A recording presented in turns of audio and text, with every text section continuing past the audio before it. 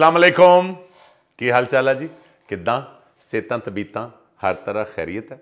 ਮੇਰੀਆਂ ਦੁਆਵਾਂ, ਜਿੱਦਾਂ ਮੈਂ ਕਾਲ 'ਚ ਕਹਿਣਾ ਹੁੰਨਾ ਹਮੇਸ਼ਾ, ਕਿ ਅੱਲਾਹ ਪਾਕ ਤੁਹਾਨੂੰ ਹਮੇਸ਼ਾ ਖੁਸ਼ ਰੱਖੇ, ਜਿਉਂਦੇ ਵਸਦੇ ਰਹੋ। ਅੱਲਾਹ ਪਾਕ ਕਰੇ ਤੁਹਾਡੇ ਵਿਹੜੇ ਜਿਹੜੇ ਆ, ਹਮੇਸ਼ਾ ਖੁਸ਼ੀਆਂ ਨਾਲ ਭਰੇ ਰਹਿਣ। ਆ, ਮੇਰੇ ਜਿੰਨੇ ਬਾਬੇ, ਚਾਚੇ, ਤਾਏ, ਮਾਮੇ, ਫੁੱਫੇ, ਅੱਲਾਹ ਪਾਕ ਸਭ ਨੂੰ ਖੁਸ਼ ਰੱਖੇ। ਖਾਸ ਤੌਰ ਤੇ ਸਪੈਸ਼ਲ ਸਪੈਸ਼ਲ ਆ ਮੇਰਾ ਜਿਹੜਾ ਖਾਨਦਾਨ ਹੈ ਤੁਸੀਂ ਮੇਰਾ ਆਪਣਾ ਟੱਬਰ ਆ ਮੇਰਾ ਖਾਨਦਾਨ ਆ ਤੁਸੀਂ। ਅ, ਅੱਲਾਹ ਪਾਕ ਮੇਰੇ ਖਾਨਦਾਨ ਦੀ ਧੀ ਰਾਣੀਆਂ ਨੂੰ ਹਮੇਸ਼ਾ ਖੁਸ਼ ਰੱਖੇ। ਅੱਜ ਦਾ ਵੀਡੀਓ ਬੜਾ ਸਪੈਸ਼ਲ ਵੀਡੀਓ ਹੈ। ਤੁਹਾਨੂੰ ਮੁਬਾਰਕੀ ਦੇਣ ਵਾਸਤੇ ਇਹ ਵੀਡੀਓ ਬਣਨ ਜਾ ਰਿਹਾ ਅੱਜ। ਮੈਂ ਗੱਲ ਕਰਨ ਜਾ ਰਿਹਾ। ਤੁਹਾਨੂੰ ਮੁਬਾਰਕ ਸਭ ਤੋਂ ਪਹਿਲੇ ਇਸ ਗੱਲ ਦੀ ਹੈ ਕਿ ਮੇਰੀ ਜਿਹੜੀ ਫੈਮਿਲੀ ਹੈ ਉਹਦੇ ਨਾਲ ਉਹਦੇ 'ਚ 6 ਲੱਖ ਬੰਦਾ ਜੁੜ ਚੁੱਕਿਆ ਜਿਹਦੀਆਂ ਤੁਹਾਨੂੰ ਬਹੁਤ-ਬਹੁਤ ਵਧਾਈਆਂ ਤੇ ਬਹੁਤ-ਬਹੁਤ ਮੁਬਾਰਕਾਂ ਤੁਹਾਨੂੰ ਜੀ। ਇਹਦੇ ਵਿੱਚ ਇਹ ਸਭ ਕੁਝ ਜੋ ਕੁਝ ਵੀ ਹੋਇਆ, ਇਹ ਸਿਰਫ ਔਰ ਸਿਰਫ ਤੁਹਾਡੀ ਵਜ੍ਹਾ ਨਾਲ ਹੋਇਆ, ਤੁਹਾਡੇ ਪਿਆਰ ਦੀ ਵਜ੍ਹਾ ਨਾਲ ਹੋਇਆ, ਤੁਹਾਡੀ ਮੁਹੱਬਤਾਂ ਦੀ ਵਜ੍ਹਾ ਨਾਲ ਹੋਇਆ ਤੇ ਤੁਹਾਡੀਆਂ ਮੁਹੱਬਤਾਂ ਦਾ, ਤੁਹਾਡੇ ਪਿਆਰ ਦਾ ਬਹੁਤ-ਬਹੁਤ ਸ਼ੁਕਰੀਆ। ਜਿਲੇ ਮੈਂ ਗੱਲ ਨੂੰ ਥੋੜਾ ਜਿਹਾ ਅੱਗੇ ਤੋਰਦਾ ਆ ਤੇ ਫਿਰ ਕੁਝ ਮਾਮਲੇ ਇਤਰਾਫਾਤ ਦੇ ਆਉਂਦੇ ਨੇ। ਮੈਂ ਅੱਜ ਕੁਝ ਚੀਜ਼ਾਂ ਨੂੰ ਇਤਰਾਫ ਕਰੂੰਗਾ ਕੁਝ ਚੀਜ਼ਾਂ ਦਾ ਕਿ ਜੀ ਇਹ ਕਿੱਦਾਂ ਹੋਇਆ? ਤੁਸੀਂ ਤਾਂ ਮੁਹੱਬਤ ਕੀਤੀ ਨਾ ਜਿਲੇ, ਤੁਹਾਡੇ ਤੱਕ ਇੱਕ ਚੀਜ਼ ਬਣ ਕੇ ਆਈ, ਇੱਕ ਚੀਜ਼ ਤਿਆਰ ਹੋ ਕੇ ਆਈ। ਅੱਜ ਮੈਂ ਇਸ ਵੀਡੀਓ 'ਚ ਕੁਝ ਇਤਰਾਫ ਕਰਨਾ ਚਾਹਨਾ ਆ। ਕਿ ਇਹ ਸਾਰੇ ਸਫ਼ਰ 'ਚ ਅ, ਇਹ ਸਫ਼ਰ ਤੈਅ ਕਿੱਦਾਂ ਹੋਇਆ? ਕਿਉਂਕਿ ਮੈਂ ਬੇਸਿਕਲੀ ਤੁਸੀਂ ਸਿਰਫ ਮੈਨੂੰ ਕਾਲ ਕਰਦਾ ਦੇਖਦੇ ਆ। ਮੈਂ ਸਕਰੀਨ ਦੇ ਉੱਤੇ ਨਜ਼ਰ ਆਉਣਾ ਆ ਤੁਸੀਂ ਸਮਝਦੇ ਆ ਕਿ ਮੇਰਾ ਨਾਂ ਹੋ ਗਿਆ ਲੋਕ ਜਾਣਨ ਲੱਗ ਪਏ। ਜਿੱਥੇ ਜਾਣਾ ਲੋਕ ਸੈਲਫੀਆਂ ਲੈਂਦੇ ਲੋਕ ਇੱਜ਼ਤ ਕਰਦੇ ਆ ਬਹੁਤ ਪਿਆਰ ਕਰਦੇ ਆ। ਉਹ ਉਹ- ਉਹਦੇ ਵਾਸਤੇ ਬਹੁਤ ਬਹੁਤ ਸ਼ੁਕਰੀਆ। ਲੇਕਿਨ ਆ ਮੈਂ ਜ਼ਾਤੀ ਤੌਰ ਤੇ ਜਿੱਦਾਂ ਦਾ ਮੈਂ ਬੰਦਾ ਆ ਇੰਨਾ ਜ਼ਿੰਮੇਦਾਰ ਨਹੀਂ ਹੈਗਾ ਇੰਨਾ ਟੈਲੈਂਟਡ ਨਹੀਂ ਹੈਗਾ, ਇੰਨੇ ਗੁਣ ਨਹੀਂ ਹੈਗੇ, ਜਿੰਨੇ ਅੱਲਾ ਨੇ ਦਿੱਤੇ ਨੇ, ਅੱਲਾ ਦਾ ਬਹੁਤ ਬਹੁਤ ਸ਼ੁਕਰੀਆ। ਤੇ ਮੇਰੇ ਮੈਨੂੰ ਰਾਣਾ ਅਜਾਜ਼ ਬਣਾਉਣ ਚ ਨਾ ਅਸਲ ਚ ਰੱਬ ਤੋਂ ਬਾਅਦ, ਤੁਹਾਡੀ ਪਸੰਦੀਦਗੀ ਤੋਂ ਬਾਅਦ ਕੁਝ ਲੋਕਾਂ ਦਾ ਹੱਥ ਹੈ ਜਿਨ੍ਹਾਂ ਨੇ ਰਾਣਾ ਇਜਾਜ਼ ਬਣਾਇਆ। ਅ ਜ਼ਿਲ੍ਹੇ ਦਫ਼ਤਰ 'ਚ ਅੱਜ ਇੱਥੇ ਮੈਂ ਬੈਠਾ ਜੇ ਸਟੂਡੀਓ 'ਚ ਮੈਂ ਬੈਠਾ ਆ ਇਸ ਸਟੂਡੀਓ 'ਚ ਨਾ ਮੈਂ ਬਿਲਕੁਲ ਵੀ YouTube ਚੈਨਲ ਚੈਨਲ ਬਣਾਉਣ ਨਹੀਂ ਸੀ ਆਇਆ। ਮੈਨੂੰ ਮੈਂ ਇੱਕ ਸ਼ੂਟ ਕਰਨਾ ਸੀ, ਉਹਦੇ ਵਾਸਤੇ ਮੈਨੂੰ ਇੱਕ ਜ਼ਰੂਰਤ ਸੀਗੀ ਇੱਕ ਦੀਵਾਰ ਦੀ। ਤੇ ਉਹ ਜਿੱਥੇ ਕਰੋਮਾ ਲਗਾਇਆ ਹੁੰਦਾ ਤੇ ਮੈਂ ਇੱਥੇ ਆਇਆ ਤੇ ਮੈਂ ਪੁੱਛਿਆ, ਯਾਰ, ਮੈਨੂੰ ਨਾ ਇਦਾਂ ਇਦਾਂ ਇੱਕ ਦੀਵਾਰ ਚਾਹੀਦੀ ਹੈ ਜਿਹਦੇ ਅੱਗੇ ਮੈਂ ਇੱਕ ਦਿਨ ਸ਼ੂਟ ਕਰਨਾ ਹੈ ਬਸ। ਉੱਥੇ ਇਹ ਜਿਹੜਾ ਮੇਰਾ ਪਲਾਜ਼ਾ ਆ, ਇਹ- ਇਹਦਾ ਉਹ ਬਾਬਾ ਜੀ ਜਿਹੜੇ ਦਫ਼ਤਰ ਕਿਰਾਏ ਤੇ ਦਿੰਦੇ ਨਾ, ਉਹ ਖੜੇ ਸੀਗੇ। ਉਹਨਾਂ ਨੇ ਕਿਹਾ, ਯਾਰ, ਤੁਸੀਂ ਇਦਾਂ ਕਰੋ, ਤੁਹਾਨੂੰ ਅਸੀਂ ਪੂਰਾ ਦਫ਼ਤਰ ਹੀ ਦੇ ਦਿੰਨੇ ਮੈਂ ਕਿਹਾ, ਨਹੀਂ, ਮੇਰਾ ਇੱਕ ਦਿਨ ਦਾ ਕੰਮ ਆ, ਮੈਨੂੰ ਦਫ਼ਤਰ ਤੇ ਲੋੜ ਹੀ ਨਹੀਂ। ਉਹ ਕਹਿੰਦੇ, ਇੱਕ ਵਾਰੀ ਦੇਖ ਲਓ। ਠੀਕ ਹੈ। ਮੈਂ ਜਨਾਬ ਉਹ ਦਫ਼ਤਰ ਆ ਕੇ ਜਿਲੇ ਆ ਦੇਖਿਆ ਸੀ ਸਟੂਡੀਓ। ਤੇ ਬਾਵਾ ਵੱਡਾ ਸਟੂਡੀਓ ਸੀਗਾ। ਤੇ ਮੈਂ ਕਿਹਾ, ਕਿੰਨਾ ਕਿਰਾਇਆ? ਉਹ ਉਹਨੇ ਕਿਹਾ ਜੀ 20000 ਰੁਪਏ ਕਿਰਾਇਆ ਤੇ ਇੱਧਰ ਉੱਧਰ ਦੇ ਖਰਚੇ ਖੁਰਚੇ ਪਾ ਕੇ ਕੋਈ 30 40000 ਰੁਪਇਆ। ਠੀਕ ਹੈ, ਮੈਂ ਕਿਹਾ। ਅਸੀਂ ਇੱਥੇ ਨਾ ਆ ਕੇ ਬਹਿਣ ਖਲੋਣ ਲੱਗ ਪਏ। ਰਾਜਾ ਸਾਹਿਬ ਨੇ ਕੰਪਿਊਟਰ ਘਰੋਂ ਚੁੱਕਿਆ, ਉਹ ਇੱਥੇ ਲੈ ਆਏ। ਅਸੀਂ ਇੱਥੇ ਗਾਣੇ ਗੁਣੇ ਸੁਣਨ ਲੱਗ ਪਏ। ਤੇ ਇੱਕ ਦਿਨ ਅਚਾਨਕ ਰਾਜਾ ਸਾਹਿਬ ਨੇ ਮੈਨੂੰ ਕਿਹਾ ਕਿ ਯਾਰ, ਉਹ ਤੁਹਾਡੀਆਂ ਜਿਹੜੀਆਂ ਕਾਲਾਂ ਵਾਲਾ ਮਾਮਲਾ ਆ ਯਾਰ ਉਹਦਾ ਇੰਟਰੋ ਦਿਓ, ਆਪਾਂ ਕਾਲਾਂ ਕਰੀਏ। ਮੈਂ ਕਿਹਾ ਚਲੋ ਠੀਕ ਹੈ। ਲਓ ਜੀ, ਇਸ ਕਮਰੇ ਦੇ ਵਿੱਚ ਸੋਫੇ ਤੇ ਬਹਿ ਕੇ ਮੈਂ ਇੰਟਰੋ ਦਿੱਤਾ ਇੱਕ, ਦੇਖਿਓ ਜ਼ਰਾ। ਅਸਲਾਮ ਵਾਲੇਕੁਮ ਮੈਂ ਰਾਣਾ ਇਜਾਜ਼। ਇੱਕ ਵਾਰੀ ਫਿਰ ਇੱਕ ਲੰਬੇ ਗੈਪ ਤੋਂ ਬਾਅਦ ਹਮੇਸ਼ਾ ਤੁਸੀਂ ਮੇਰੀਆਂ ਆਡੀਓ ਕਾਲਾਂ ਜਿਹੜੀਆਂ ਸੁਣੀਆਂ ਪੂਰੀ ਦੁਨੀਆ ਚੋਂ ਬਹੁਤ ਜ਼ਿਆਦਾ ਮੁਹੱਬਤਾਂ ਬਹੁਤ ਜ਼ਿਆਦਾ ਪਿਆਰ ਜਿਹੜਾ ਆ ਉਹ ਮੈਨੂੰ ਦਿੱਤਾ ਗਿਆ। ਅ, ਕੁਝ ਅਰਸੇ ਤੱਕ ਜ਼ਾਤੀ ਮਸਰੂਫੀਅਤ ਦੀ ਵਜ੍ਹਾ ਤੋਂ ਨਹੀਂ ਮੈਂ ਕਰ ਸਕਿਆ। ਲੇਕਿਨ ਹੁਣ ਮੈਂ ਸੋਚਿਆ ਕਿ ਹੁਣ ਮੈਂ ਇਹਨਾਂ ਕਾਲਾਂ ਦੇ ਕਾਲਾਂ ਜਿਹੜਾ ਵੀਡੀਓ ਕਰਾਂਗਾ ਤੁਹਾਡੇ ਨਾਲ ਸਾਹਮਣੇ ਹਮ ਕਲਾਮ ਹੋਵਾਂਗਾ ਮੈਂ। ਪਹਿਲੇ ਆਵਾਜ਼ ਸੁਣਦੇ ਸੀ। ਹੁਣ ਤੁਸੀਂ ਮੇਰੀ ਜਿਹੜੀ ਆ ਉਹ ਤਸਵੀਰ ਵੀ ਵੇਖਿਆ ਕਰੋਗੇ। ਤੇ ਇਹ ਮੇਰਾ ਸਟੂਡੀਓ ਹੈ। ਤੇ ਇਹਦੇ ਵਿੱਚ ਬਹਿ ਕੇ ਮੈਂ ਤੁਹਾਨੂੰ ਤੁਹਾਡੇ ਨਾਲ ਗੱਲ ਕਰਿਆ ਕਰਾਂਗਾ ਤੇ ਮੇਰਾ ਜਿਹੜਾ YouTube ਚੈਨਲ ਹੈ ਰਾਣਾ ਇਜਾਜ਼ ਅਫੀਸ਼ੀਅਲ ਉਹਦੇ ਤੇ ਇਹ ਸਾਰਾ ਮਟੀਰੀਅਲ ਜਿਹੜਾ ਆ, ਉਹ ਤੁਹਾਨੂੰ ਦਸਤਿਆਬ ਹੋਏਗਾ। ਤੁਸੀਂ ਉਹਨੂੰ ਸਬਸਕ੍ਰਾਈਬ ਕਰੋਗੇ ਤੇ ਉਸ ਤੋਂ ਬਾਅਦ ਘੰਟੀ ਤੇ ਤੁਹਾਨੂੰ ਪਤਾ ਹੀ ਹੈ, ਉਹ ਦਬਾਉਣੀ ਹੈ ਤਾਂ ਕਿ ਤੁਹਾਡੇ ਤੱਕ ਤੁਹਾਨੂੰ ਤੁਹਾਡੇ ਤੱਕ ਮੇਰੀ ਜਿਹੜੀ ਗੱਲ ਹੈ, ਮੇਰੀ ਕੋਈ ਕਾਲ ਹੈ, ਮੇਰੀ ਕੋਈ ਪੋਇਟਰੀ ਹੈ, ਮੇਰਾ ਜੋ ਵੀ ਹੈ, ਜੋ ਵੀ ਮੈਂ ਕਰਦਾ, ਉਹ ਸਾਰਾ ਤੁਹਾਡੇ ਤੱਕ ਜਿਹੜਾ ਆ, ਉਹ ਪਹੁੰਚੇਗਾ। ਤੇ ਬਹੁਤ-ਬਹੁਤ ਸ਼ੁਕਰੀਆ ਮੁਹੱਬਤਾਂ ਦਾ ਜਿਹੜੀਆਂ ਪੂਰੀ ਦੁਨੀਆ 'ਚ ਤੁਸੀਂ ਮੈਨੂੰ ਮੁਹੱਬਤਾਂ ਦਿੱਤੀਆਂ, ਉਹਦਾ ਬਹੁਤ-ਬਹੁਤ ਸ਼ੁਕਰੀਆ। ਅਤੇ ਇੱਕ ਗੱਲ ਮੈਂ ਤੁਹਾਡੇ ਨਾਲ ਹੋਰ ਕਰਨੀ ਸੀਗੀ। ਉਹ ਇਹ ਕਿ ਬਹੁਤ ਸਾਰੇ ਦੋਸਤ ਮੇਰੀਆਂ ਕਾਲਾਂ ਨੂੰ ਕਾਪੀ ਕਰਦਿਆਂ ਹੋਇਆਂ ਬਹੁਤ ਗਲਤ ਕਿਸਮ ਦੀ ਗੁਫ਼ਤਗੂ ਕਰਦੇ ਨੇ। ਗਲਤ ਆਈਡੀਆਜ਼ ਦੇ ਉੱਤੇ ਉਹ ਜਿਹੜਾ ਆਪਣਾ ਬਣਾਉਂਦੇ ਨੇ ਕਾਲਾਂ। ਤੇ ਉਸ ਤੋਂ ਬਾਅਦ ਉਹ ਜਿਲੇ ਜਾਂਦੀਆਂ ਨੇ ਪਬਲਿਕ 'ਚ ਤੇ ਪਬਲਿਕ 'ਚ ਵੀ ਫਿਰ ਇਦਾਂ ਭੇਜਦੇ ਨੇ ਕਿ ਉੱਤੇ ਰਾਣਾ ਇਜਾਜ਼ ਲਿਖਦੇ ਨੇ। ਤੁਹਾਡੀ ਮਿਹਰਬਾਨੀ ਯਾਰ, ਅਗਰ ਤੁਸੀਂ ਮੇਰਾ ਨਾਮ ਬਦਨਾਮ ਨਾ ਕਰੋ, ਮੈਂ ਜਦੋਂ ਵੀ ਕਾਲ ਕੀਤੀ ਹੈ, ਮੈਂ ਇਸ ਗੱਲ ਨੂੰ ਜ਼ੇਨ 'ਚ ਰੱਖ ਕੇ ਕਾਲ ਕੀਤੀ ਹੈ ਕਿ ਉਹਦੇ 'ਚ ਲਫ਼ਜ਼ ਐਸੇ ਇਸਤੇਮਾਲ ਹੋਣ, ਉਹ ਆਈਡੀਆ ਐਡਾ ਅੱਛਾ ਹੋਵੇ ਕਿ ਭੈਣ ਭਰਾ ਵੀ ਬਹਿ ਕੇ ਉਹਨੂੰ ਸੁਣਨ ਤੇ ਉਹਨਾਂ ਚੋਂ, ਦੋਨਾਂ ਚੋਂ ਕਿਸੇ ਇੱਕ ਦੀ ਨਜ਼ਰ ਨੀਵੀਂ ਨਾ ਹੋਵੇ, ਕੋਈ ਐਸਾ ਲਫ਼ਜ਼ ਇਸਤੇਮਾਲ ਨਾ ਹੋਇਆ ਹੋਵੇ ਵਿੱਚ। ਚੂੰਕਿ ਮੇਰਾ ਰੇਡੀਓ ਰੇਡੀਓ ਨਾਲ ਤਾਲੁਕ ਹੈ ਮੇਰੀ ਟ੍ਰੇਨਿੰਗ ਹੀ ਇਸ ਤਰ੍ਹਾਂ ਦੀ ਹੈ ਕਿ ਮੈਂ ਕੋਈ ਐਸਾ ਲਫ਼ਜ਼, ਮਤਲਬ ਮਜ਼ਾਕ ਦਾ ਮਤਲਬ ਇਹ ਬਿਲਕੁਲ ਨਹੀਂ ਹੁੰਦਾ ਕਿ ਤੁਸੀਂ ਗੁਫ਼ਤਗੂ ਆਪਣੀ ਗੰਦੀ ਕਰੋ। ਤੇ ਦੂਸਰੀ ਗੱਲ ਇਹ ਹੈ ਕਿ ਬਹੁਤ ਸਾਰੇ ਲੋਕ ਮੇਰੀ ਜਿਹੜੀ ਕਾਲਸ ਨੇ ਉਹ ਆਪਣੇ YouTube ਚੈਨਲ ਤੇ ਯੂਜ਼ ਕਰਦੇ ਨੇ। ਮੈਂ ਇਹ ਇਹ ਨਹੀਂ ਕਹਿੰਦਾ ਕਿ ਤੁਸੀਂ ਕਿਉਂ ਕੀਤੀਆਂ, ਤੁਸੀਂ ਕੀਤੀਆਂ, ਠੀਕ ਹੈ, ਲੇਕਿਨ ਜਿੰਨੀ ਮਿਹਨਤ ਤੁਸੀਂ ਇਸ ਕੰਮ ਵੱਲ ਲਾਉਂਦੇ ਹੋ ਨਾ, ਇੰਨੀ ਮਿਹਨਤ ਆਪਣੀ ਸ਼ਨਾਖਤ ਬਣਾਉਣ ਤੇ ਉਹ ਤੁਸੀਂ ਕਰੋ, ਉਹ ਤੁਹਾਡੇ ਵਾਸਤੇ ਜ਼ਿਆਦਾ ਫਾਇਦੇਮੰਦ ਹੋਏਗਾ। ਤੇ ਹੁਣ ਮੈਂ ਆਪਣੀ ਰਵਾਇਤ ਨੂੰ ਕਾਇਮ ਰੱਖਣਾ ਹੈ। ਬਿਲਕੁਲ ਉਸੇ ਤਰ੍ਹਾਂ ਹੀ ਸਾਫ਼ ਸੁਥਰਾ ਮਿਜ਼ਾ, ਜਿਹਦੇ ਵਿੱਚ ਕੋਈ ਵਲਗਰ, ਕੋਈ ਨੀਚ ਗੱਲ, ਕੋਈ ਗਲਤ ਲਫ਼ਜ਼ ਜਿਹੜਾ, ਉਹ ਇਸਤੇਮਾਲ ਨਹੀਂ ਹੋਏਗਾ। ਤੇ ਮੈਂ ਕੋਸ਼ਿਸ਼ ਕਰਾਂਗਾ ਤੁਹਾਨੂੰ ਉਸੇ ਤਰ੍ਹਾਂ ਹੀ ਮੈਂ ਐਂਟਰਟੇਨ ਕਰਾਂ। ਤੇ ਬਹੁਤ-ਬਹੁਤ ਸ਼ੁਕਰੀਆ ਮੁਹੱਬਤਾਂ ਦਾ, ਜਿਹੜੀਆਂ ਪੂਰੀ ਦੁਨੀਆ 'ਚ ਤੁਸੀਂ ਮੈਨੂੰ ਮੁਹੱਬਤਾਂ ਦਿੱਤੀਆਂ। ਅੱਛਾ ਜੀ ਇੰਟਰੋ ਤੁਸੀਂ ਦੇਖਿਆ ਜੀ? ਉਸ ਤੋਂ ਅਗਲੇ ਦਿਨ ਹੀ ਅਸੀਂ ਜਨਾਬ ਇੱਕ ਕਾਲ ਡਿਜ਼ਾਈਨ ਕੀਤੀ। ਕਾਲ ਡਿਜ਼ਾਈਨ ਕਰਕੇ ਤੇ ਕੈਮਰਾ ਨਹੀਂ ਸੀ ਕਿਉਂਕਿ ਸਾਡੇ ਕੋਲ ਕੰਮ ਨਹੀਂ ਸੀਗਾ ਕੈਮਰੇ ਦਾ ਐਸਾ।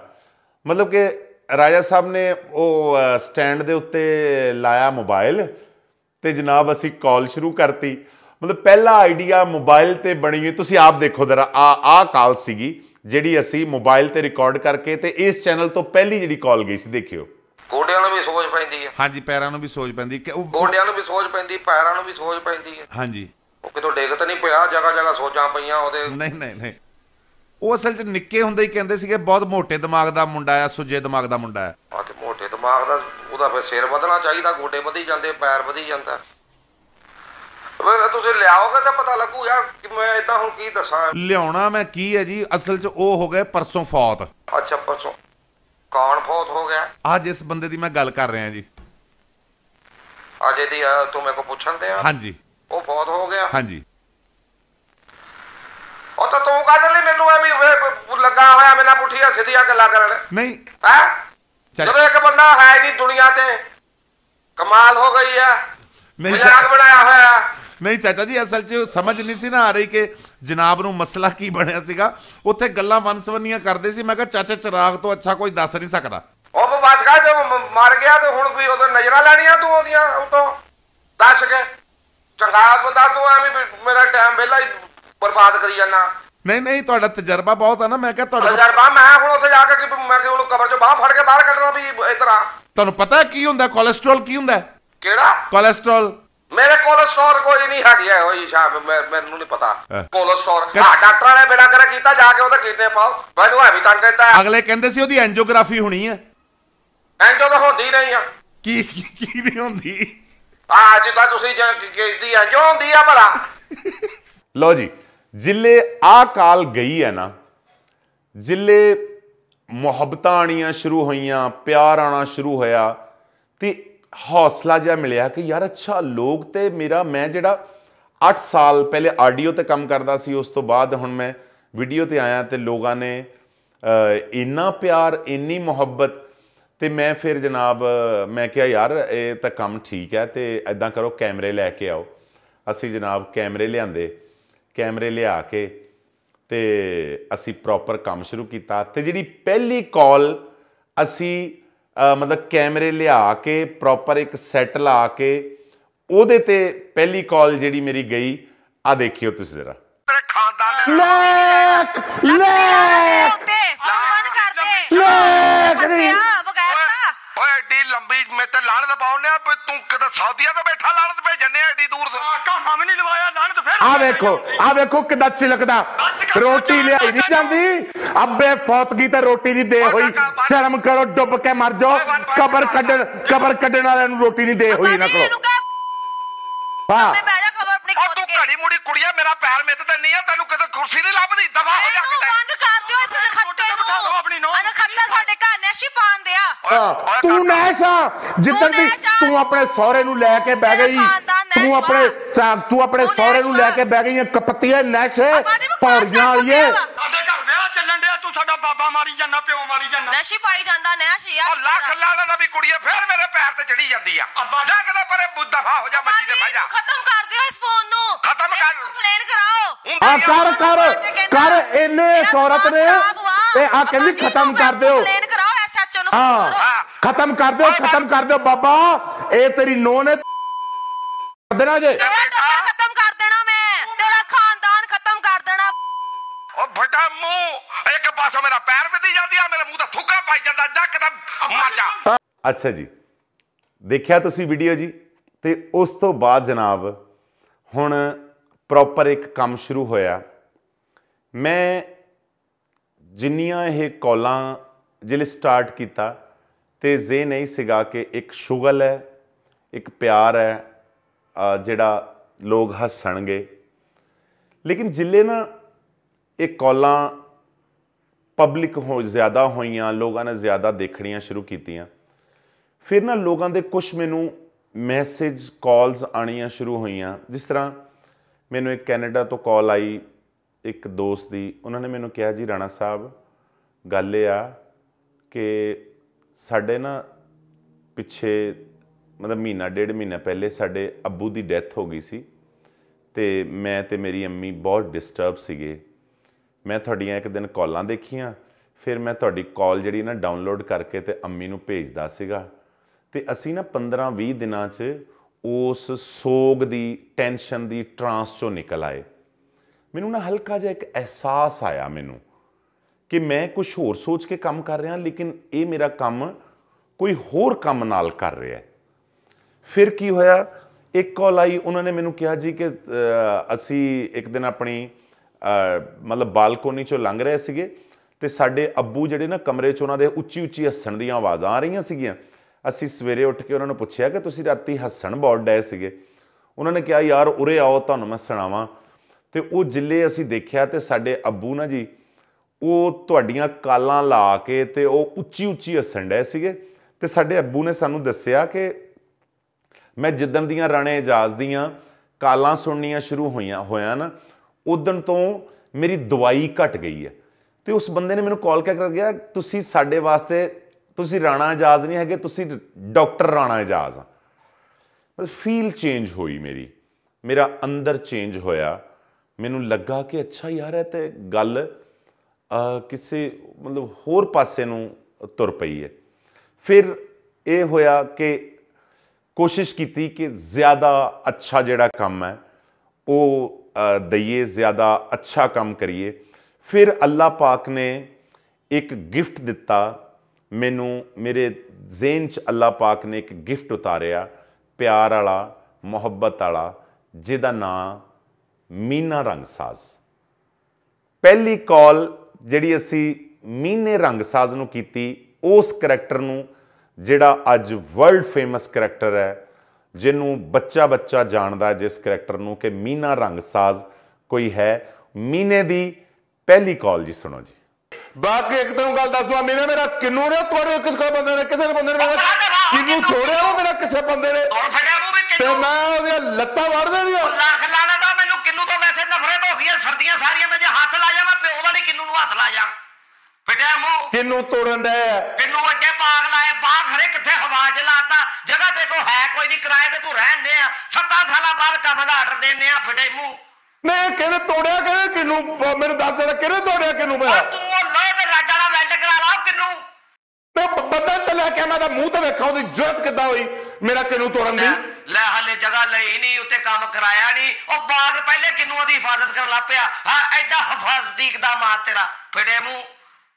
ਉਹ ਪਤਾ ਨਹੀਂ ਤੈਨੂੰ ਜਗ੍ਹਾ ਮਿਲਣੀ ਕਿ ਨਹੀਂ ਮਿਲਣੀ ਪਤਾ ਨਹੀਂ ਤੈਨੂੰ ਤੂੰ ਉਦੋਂ ਤੱਕ ਬਚਣਾ ਕਿ ਨਹੀਂ ਬਚਣਾ ਹੈ? ਮੈਨੇ ਇੱਕ ਦਿਨ ਮੈਂ ਗੱਲ ਮੋੜ ਮੋੜ ਕੇ ਦੱਸੀ ਯਾਰ ਜੇ ਮੇਰਾ ਤੋੜਿਆ ਨਾ ਕਿਸੇ ਨੇ ਕਿੰਨੂੰ? ਕਿਹੜਾ ਕਿੰਨੂ ਭਾਈ ਉਦੋਂ ਤੱਕ ਉਹ ਬਾਗ ਤੇ ਕੋ ਰਹਿਣੇ ਨਹੀਂ।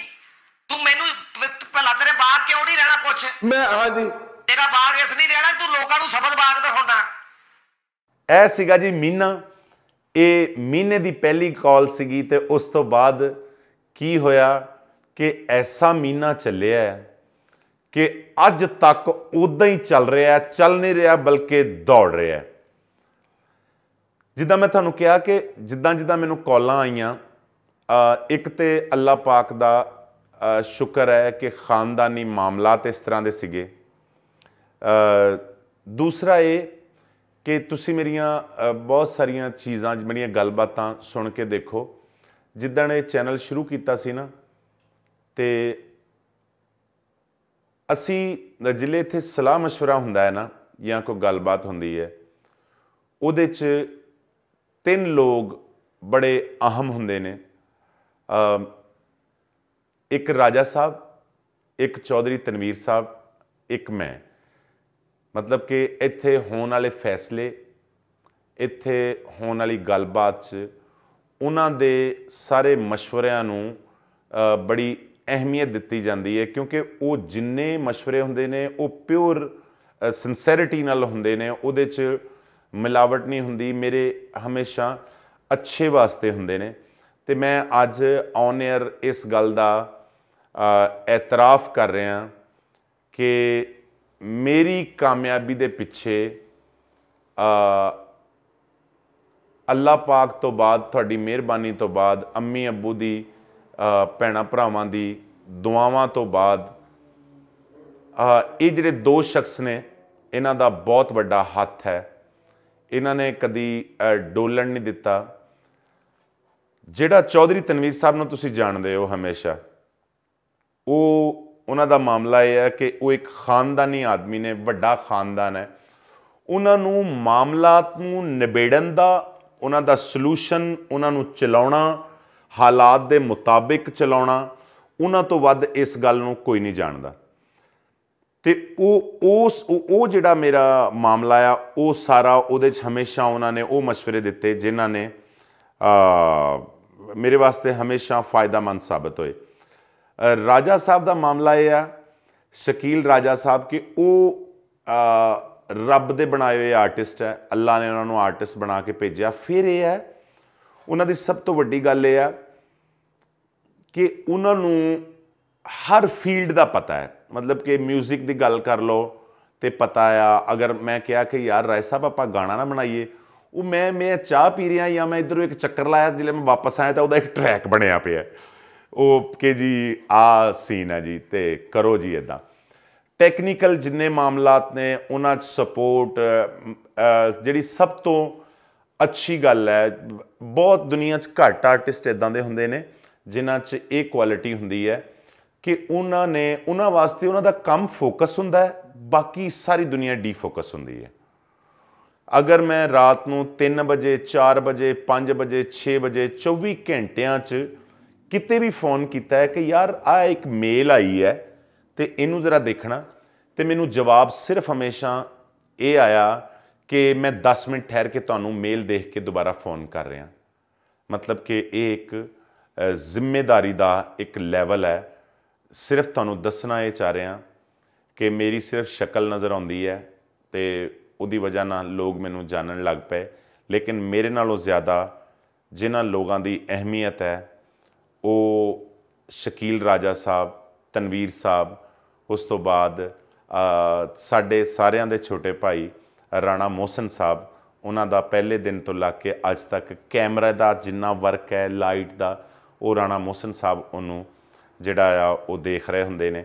ਤੇ ਹੁਣ ਇਹ ਆ ਕਿ ਥੋੜੇ ਚਿਰ ਤੋਂ ਸਾਡੀ ਟੀਮ 'ਚ ਇੱਕ ਬਹੁਤ ਅੱਛਾ ਇਜ਼ਾਫਾ ਜਿਹੜਾ ਆ, ਉਹ ਮੁਜਾਹਿਦ ਅਬਾਸ ਦੀ ਸੂਰਤ ਹੋਇਆ। ਹੈ ਮੁਜਾਹਿਦ ਅਬਾਸ ਬਹੁਤ ਸੰਸੇਰ ਆਦਮੀ, ਬਹੁਤ ਪਿਆਰ ਕਰਨ ਵਾਲਾ ਆਦਮੀ, ਨਾਲ ਕੰਡ ਨਾਲ ਕੰਡ ਜੋੜ ਕੇ ਲੜਨ ਵਾਲਾ ਆਦਮੀ ਮੈਨੂੰ ਮਤਲਬ ਕਿ ਉਹ ਬਹੁਤ ਪਸੰਦ ਹੈ। ਉਸ ਤੋਂ ਬਾਅਦ ਜਿਹੜੀ ਇੱਕ ਬਹੁਤ ਅਹਿਮ ਗੱਲ ਕਿ ਅੱਜ ਕੱਲ ਤੁਹਾਨੂੰ ਪਤਾ ਹੈ, ਅਸੀਂ ਇੱਕ ਨਵਾਂ ਸਿਲਸਿਲਾ ਸ਼ੁਰੂ ਕੀਤਾ, ਚੱਕ ਨੰਬਰ 9211 ਚੱਕ ਨੰਬਰ 9211 ਦੀ ਜਿੰਨੀ ਟੀਮ ਹੈ, ਸਾਰੀ ਟੀਮ ਭਰਪੂਰ ਟੈਲੈਂਟਡ ਟੀਮ ਬਹੁਤ ਸਮਝਦਾਰ, ਪੜ੍ਹੇ ਲਿਖੇ ਲੋਕ ਆਰਟ ਨੂੰ ਸਮਝਣ ਵਾਲੇ ਲੋਕ ਮੈਂ ਉਹਨਾਂ ਦਾ ਵੀ ਸ਼ੁਕਰੀਆ ਅਦਾ ਕਰਦਾ ਪੂਰੀ ਟੀਮ ਦਾ ਕਿ ਉਹ ਮੇਰਾ ਸਾਥ ਦਿੰਦੇ ਆ ਤੇ ਉਹਨਾਂ ਦੀ ਮਿਹਰਬਾਨੀ ਹੈ ਮੈਨੂੰ ਟਾਈਮ ਦਿੰਦੇ ਆ ਤੇ ਚੱਕ ਨੰਬਰ 9211 ਦੇ ਕੈਮਰਾਮੈਨਾਂ ਤੋਂ ਲੱਗ ਕੇ ਮੇਕਅਪ ਮੈਨਾਂ ਤੋਂ ਲੱਗ ਕੇ ਆਰਟਿਸਟਾਂ ਤੱਕ ਸਭ ਦਾ ਬਹੁਤ-ਬਹੁਤ ਸ਼ੁਕਰੀਆ। ਛੋਟੀ ਜੀ ਝਲਕੀ ਜ਼ਰਾ ਚੱਕ ਨੰਬਰ 9211 ਦੀ ਦੇਖੋ ਤੁਹਾਨੂੰ ਮਜ਼ਾ ਆਏਗਾ। ਇਹਨੂੰ ਕਿਹੜਾ ਮੂੰਹ ਚ ਪਾ ਲੈਣਾ? ਮੇਰਾ ਪਿਓ ਆ। ਕੀ ਮਾਰਿਆ? ਮਾਰਿਆ? ਕੁਛ ਨਹੀਂ। ਓਏ ਅੰਮੀ ਜੀ